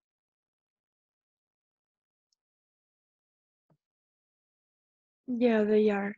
They are, but uh, yeah, it's it's very important to to be careful about uh, what approach is being taken and uh, if it is being labeled as nature-based solutions, but uh, it is not that much and it is more of something of a greenwashing intervention and then it is very important to be careful. That's why i also think that ecosystem based solutions would be more of a secure approach uh, due to the yeah the, the bad management of the terminology of nature based solutions that has been happening lately sadly. Uh, and uh, and yes, I think that's something important for the global south is that we have some of the most biodiverse ecosystems and um, some of the most um, pristine areas, which are more vulnerable to any kind of intervention. So uh, the impacts of interventions like geoengineering or massive uh, monoculture plantations or tree plantations without any uh, strict planning behind uh, can be way more uh, complex to manage afterwards, especially for countries that have very little uh, human resources and budget, and budget to manage uh, the bad results after uh, a not very well planned intervention. Thanks, Mirna. We have two more people who would like to speak, and then we can uh, start moving on to the written questions. Uh, Hassan? Yeah, I've, unmute, I've uh, unmuted your microphone. Thank you, Sweta and team. Uh, uh, what I would like to ask is uh, some state, fragile states like us in Somalia, uh, major loss of biodiversity is due to deforestation and people use this deforestation as a source of uh, uh, economic. For example, they export the charcoal, or the charcoal mainly is used within the uh, the country as a fuel. How can be these people be campaigned or change their mind of getting away from deforestation and using other source of economy? Thank you.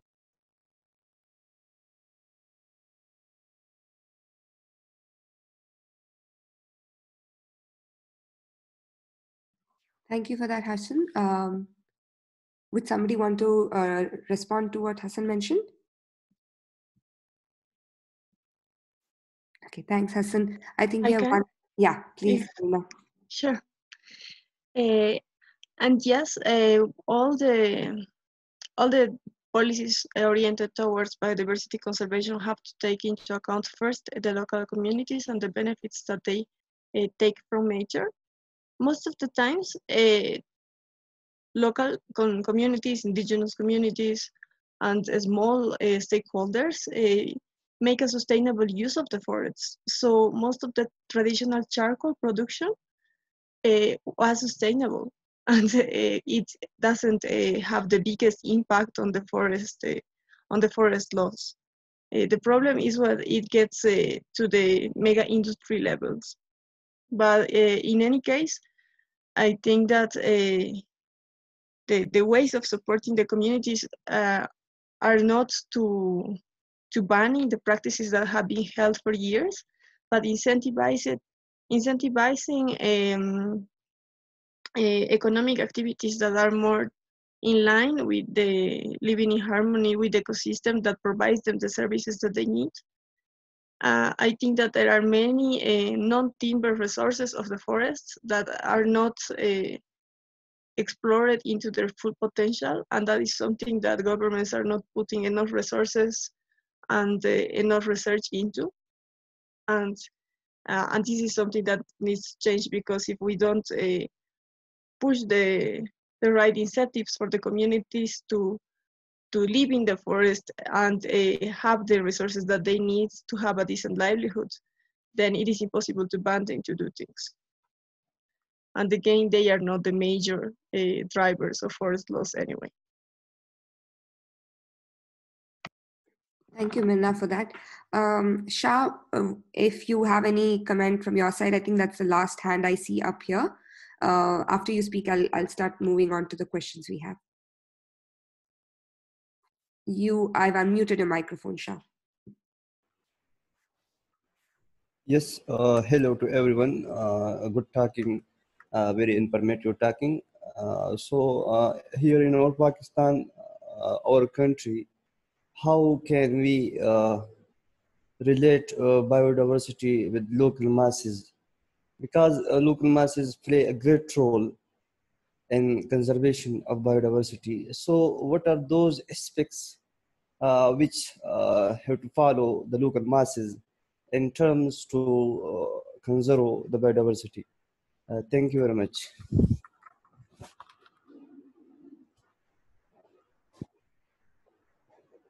Uh, who would like to take this question, guys? Yeah, I can go for this. Mm -hmm.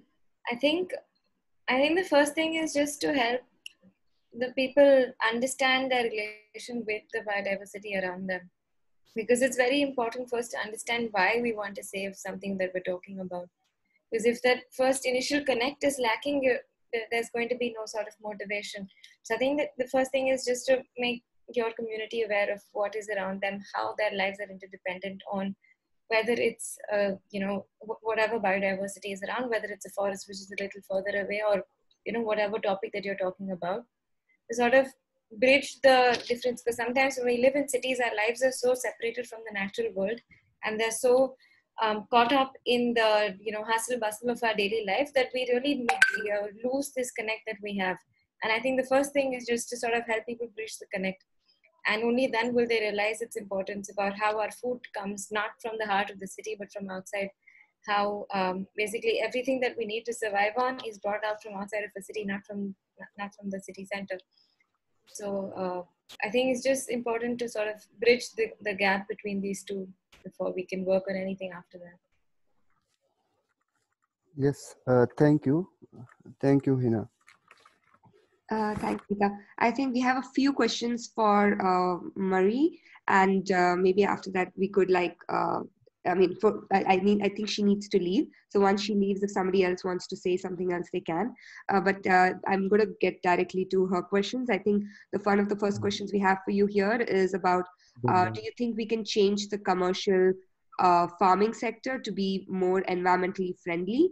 And I think with connection to this, I think the large, the bigger question is about how are you going to uh, tackle the debate where every time you, people talk about why we need to commercialize, do mass agricultural practices versus the hunger uh, argument, because everybody would say, you know, we need to feed our people, and therefore there is hunger and well, poverty, and therefore you need to have this kind of mass uh, production of food to be able to satisfy those needs.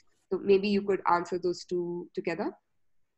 Yeah, um, 40% of the today's uh, food production is wasted, so there is simply no use for it. So it's simply a ridiculous argument to say that with a regenerative and sustainable way of agriculture, we cannot feed the planet. If we just stop wasting 40% of food, um, we have like so much food for everyone, and we can really, uh, yeah, like feed like the whole planet.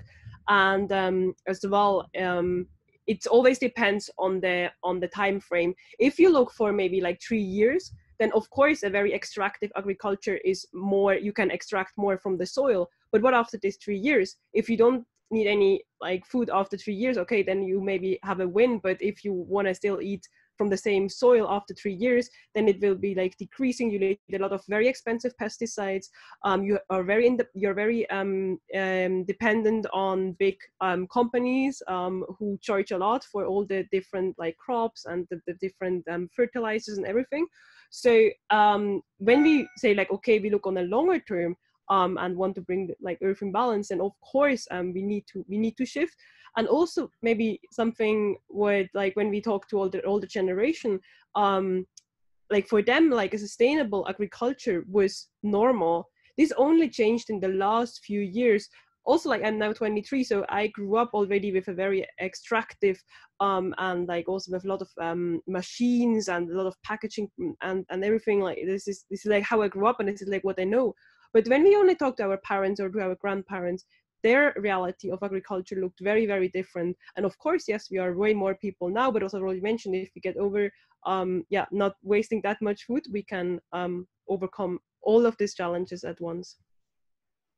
Thanks for that Rahita. i think that was per- the perfect answer to that question uh, sorry, uh, Marie, that was a perfect answer to this question. I think the next one we have, I'm trying to go quickly through some of the questions so that we don't, we have you for those. Uh, what are the indicators that can be used locally to measure the impact of agriculture on the environment, like the ecosystem, water and land, and where can I find it? well this should be monitored probably by the government uh, so if there is an agriculture department or a biodiversity department but if it's not well um, like monitored it might be good to get in contact with some ngos who do local monitoring. Um, so it can be measured with uh, for example the like how fertile the soil is um, how many am- animals you find uh, per um, square um, per square or cubic meter. Um, it can also be measured with like how clean the water is. Um, so there are a lot of different measurements it really depends on what you want to find out.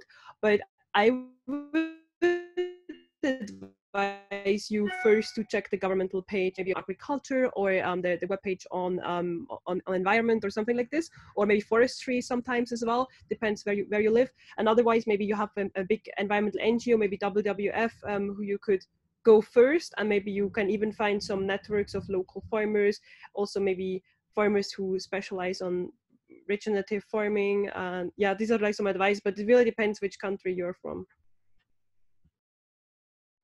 thank you for that uh, uh, Marie. i think uh, the next one i think can be open to everybody else so uh, yeah if uh, marie you need to leave so thank you so much for being here uh, we just wanted to have a quick picture with everybody here so maybe we could take that now Let me just make the gallery view. Thank you, guys.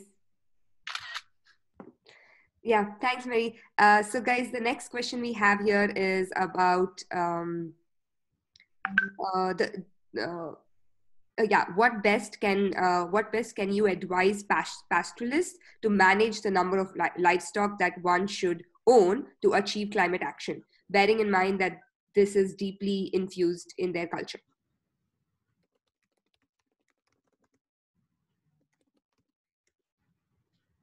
Can any of you take this question? The question on livestock.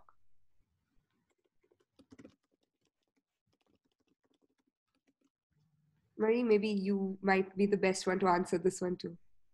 Sorry, now I missed the question because I was just typing my contact details. Sorry, yes, I can take no problem. it. So the question they've asked is, uh, how can you advise pastoralists to manage the number of livestock that they own uh, so that they can actually achieve climate action because of the fact, I bearing in mind the fact that this number of livestock is uh, kind of connected to their culture.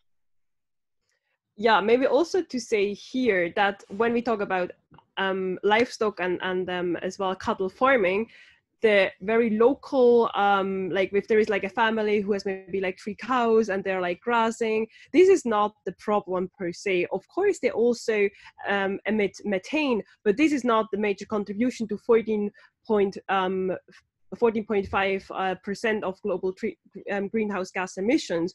But what is the problem is this very um, industrialized um, cattle farming, where you have like, as you have been seeing on my picture, like like thousands and millions of cows um so this is the problem right? So if there is a local community and they have like three cows like oh, this is not the problem. So this is can actually be even good for some for some other processes for some other biodiversity um, processes with like the fields and everything.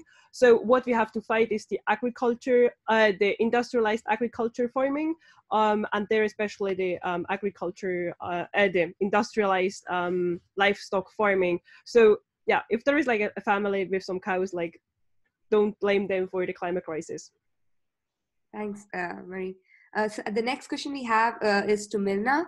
Uh, they want to know can we predict future fires on the basis of probability?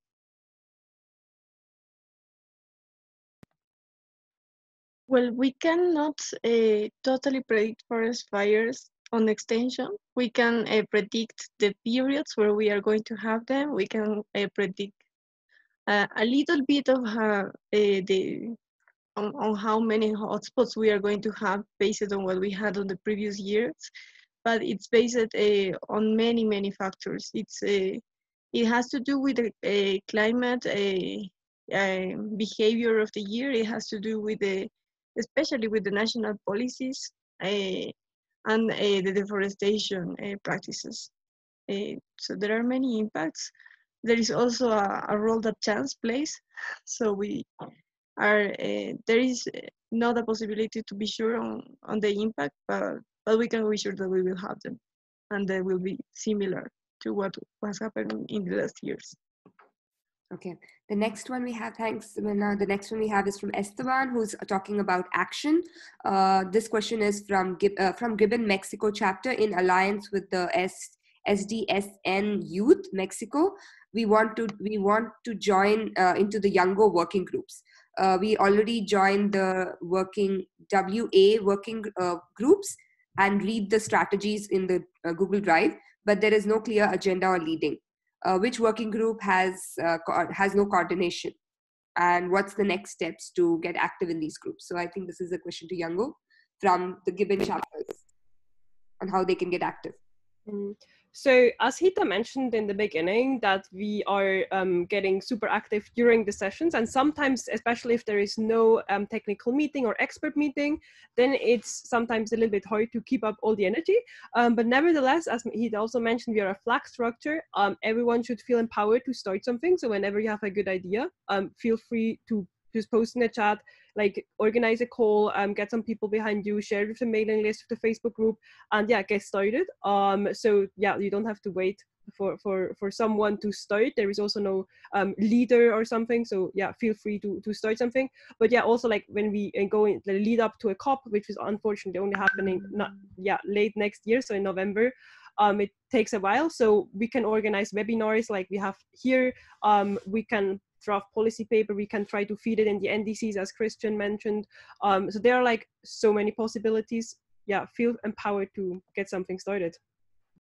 Yeah, I think this is a great opportunity and a beginning of a good rela- uh, uh, uh, working relationship, more active relationship between the two constituencies. And if there are more chapters that are interested in this, we can definitely find more ways and opportunities for engagement and uh, more active plans that can happen. But as Marie said, you know, if you have an idea, just bring it out there, and you know, both the constituencies can support you to ensure it happens.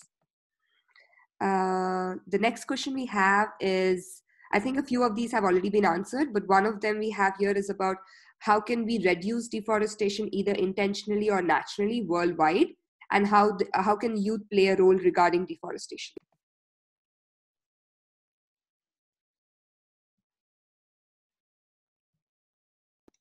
Um, I think that should go to Mirna. Um, I think we highlighted already everything um, consumption, production, uh, trade deals. These are all some factors that play a role. Uh, being aware of like political institutions, political figures that play a role in this, um, I think are very important. Um, and I think the most important thing that you can do is not to close your eye for this. Like always try to think in a connected way. Do not look at just one fire. Uh, there are a lot of connections with it. Look at the whole socio-economic system. Look at um, the, the social situation in which people are living, look at uh, what is forcing or what is driving companies to uh, push for deforestation. Look at the actors. Look at companies in your country uh, that are that have subsidiaries or are active in in countries where deforestation is a big issue. Look at, for instance, German companies that are investing in Brazil. Look at what companies they have and uncover it. You know, if you you we have access to social media so you can like post about this with your friends. You can try to make you can do um, a session about this in your school in your university. Uh, there are a lot of things that you can do but make sure that this is something uh, that that stays in the media spotlight and something where people understand that we um, all have a stake in this and that deforestation has as much to do with the products that we're buying um, the political parties that are in power, the companies that are benefiting from it, um, as it is an issue in the countries where it is appearing. Sorry, I think Mona can, can go into more detail. no, what you said is perfect. Thank you. Uh, so just to complement what Christian said, I think that it is very important to, to take action at all the possible levels. So uh, you can and you have to push your governments again, if you're in the global north, to block the trade agreements that are incentivizing the deforestation in the global south on the biodiverse countries. Uh, in, if you're in the global south, uh, try to push for effective laws uh, so that this kind of perverse policies are not taken. on, on the personal level, try to check your consumption. and it is super important not also to try to not consume what you don't need or what uh, you know that it's coming from exports that are incentivizing deforestation, but also to try to do consume things that are supporting the conservation of the forest. Uh, this is something super important because uh, in this way you are supporting the local uh, stakeholders uh, and you are giving them you're giving them a way to go out of the of the traditional scheme of I have this portion of lands and in order to educate and raise my children, I will have to, to cut and sell the last trees that are remaining in my, in my portion of lands for a very cheap price to the illegal uh, loggers, for example. uh, and you're giving them the opportunity to do something better. Because for what I have seen uh, during my years of work with uh, local communities, is that people in the communities are not very happy about having to cut their trees because they see their trees as something as their savings. Like they, they, they say, I have this caoba tree, for example, for 20 years, and this is a, my insurance that if my child has to go to university and I need some money, I can cut it and sell it. But they prefer to not do it. So if there is a way for them that incentivizes to like um, label and export the locally produced jam uh, from fruits that are uh, taken from the forest and they don't have to lose the resources to do that because there are fruits that they collect every year, they will obvious, obviously prefer to do this. But there is not enough support to these kind of initiatives. And the support from these kind of initiatives comes from the governments, but also comes from the demand. So if you start looking from this kind of products and try to like pay some more if you can to have a locally produced uh, and uh, sourced uh, forest sourced jam instead of the commercial jam that you find on the supermarket, please do it. Try to do it. You have no idea on the impact that is that this is going to have on the lives of the people that are actually taking care of the forest. Yeah, thank you. And I think you really wrapped it up very well with talking about locally sourced stuff, the behavioral change, everything possible. Uh, I think we had a really good discussion today. Thank you guys for being there for such a long webinar. Uh, we do have one last question, but I don't know if we have the expertise here to answer it. The question here is about how youth could get connected to agroforestry support given. Um, this is from Ibrahim. I don't know if we have anybody to answer this, but uh, I can just ask you guys if you can, you know, anything that you could uh, answer to this question for.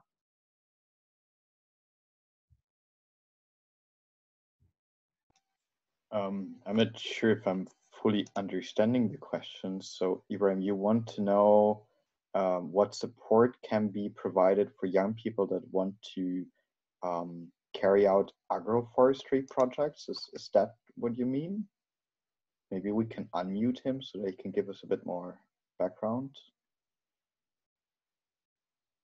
Ibrahim, ah, I unmuted you. Yeah.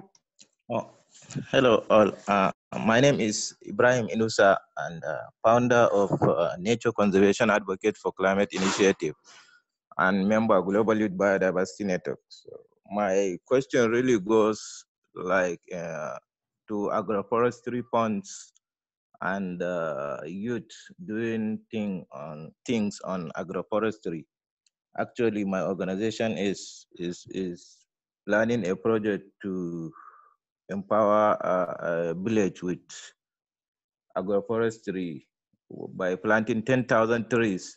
So we are planning this thing, but not exactly knowing where directly to go to while sourcing for our ponds. So uh, this this is the question. I, is it is, is it clear?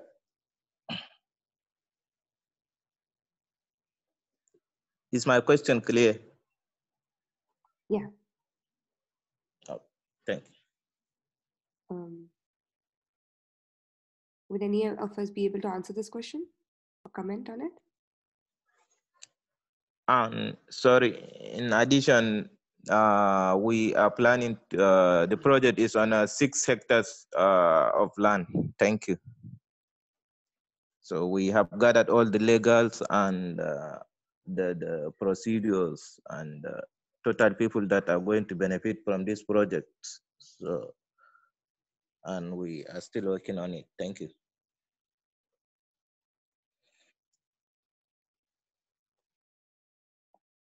Thank you, Ibrahim. Um, congrats, uh, great work on the project, and I hope you guys get to a, a more successful. I mean, uh, be more successful as well in the future. So great work already.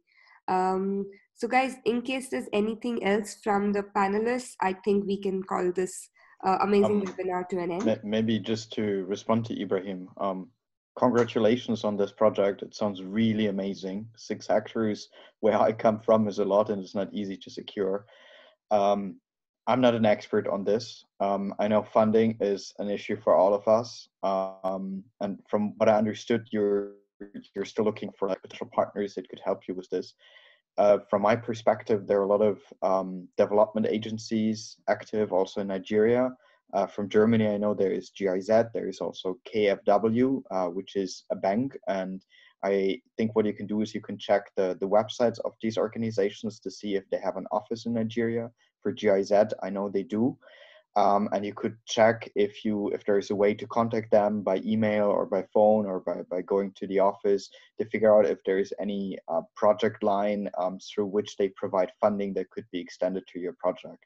Uh, that would be one angle. Um, another angle that you could follow would be the Global Environmental um, Facility, the GEF. Uh, they also have a small grants program. I think you can Google that, um, GEF Small Grants Program. It's not easy to access, unfortunately, especially for youth organizations, uh, but they have uh, national committees in most countries. I'm not sure about Nigeria, but, but just check their website. And through this program, they are um, also providing funding for, for small scale projects. Um, but it has to be approved by the national committee in your country. So you could check this out. Um, another option would be to check what uh, bigger NGOs are active in your area, WWF, for instance, or uh, Friends of the Earth, Greenpeace, like all these kind of organizations sometimes have local offices and they sometimes have some funds that are more easy to access and through which they also support local projects. So um, maybe start with mapping the organizations that are active in, in your area and who could potentially have some funds uh, and then try to get in touch with them. And um, I understand it's not an easy process and probably going to take a while, but I wish you the best of luck for it. And again, congratulations for securing so much land for, for, for such a good project. Maybe if I can complement what Christian said. Uh, yeah, first, congratulations on on this project because it is not easy to to work on agroforestry and support and empowering local communities, but I think it's one of the best approaches uh, to work on ecosystems restoration because uh, at least you are ensuring that uh, local communities have local sources of more diverse and nutritious foods. So this is very important. I think that uh, first it is important to go through uh, the funding channels that Christian mentioned. Uh, besides GIZ, I think uh, well, I, the organization I was working on was supported by BOS Plus, which is a Belgian initiative that also supports uh, forestry, uh, agroforestry projects in the global south. Maybe you can check that one. But also, I would suggest to try to reach the private sector. I think that there are many private companies that are looking for sources to to develop their green uh, responsibility uh, part. Like the the social responsibility uh, they try to focus it on on more on something more green.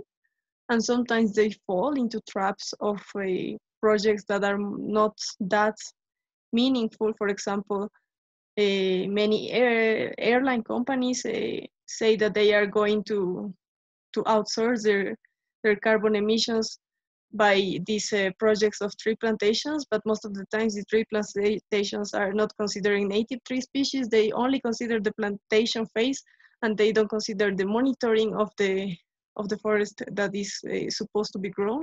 And at the end, they are not meaningful at all.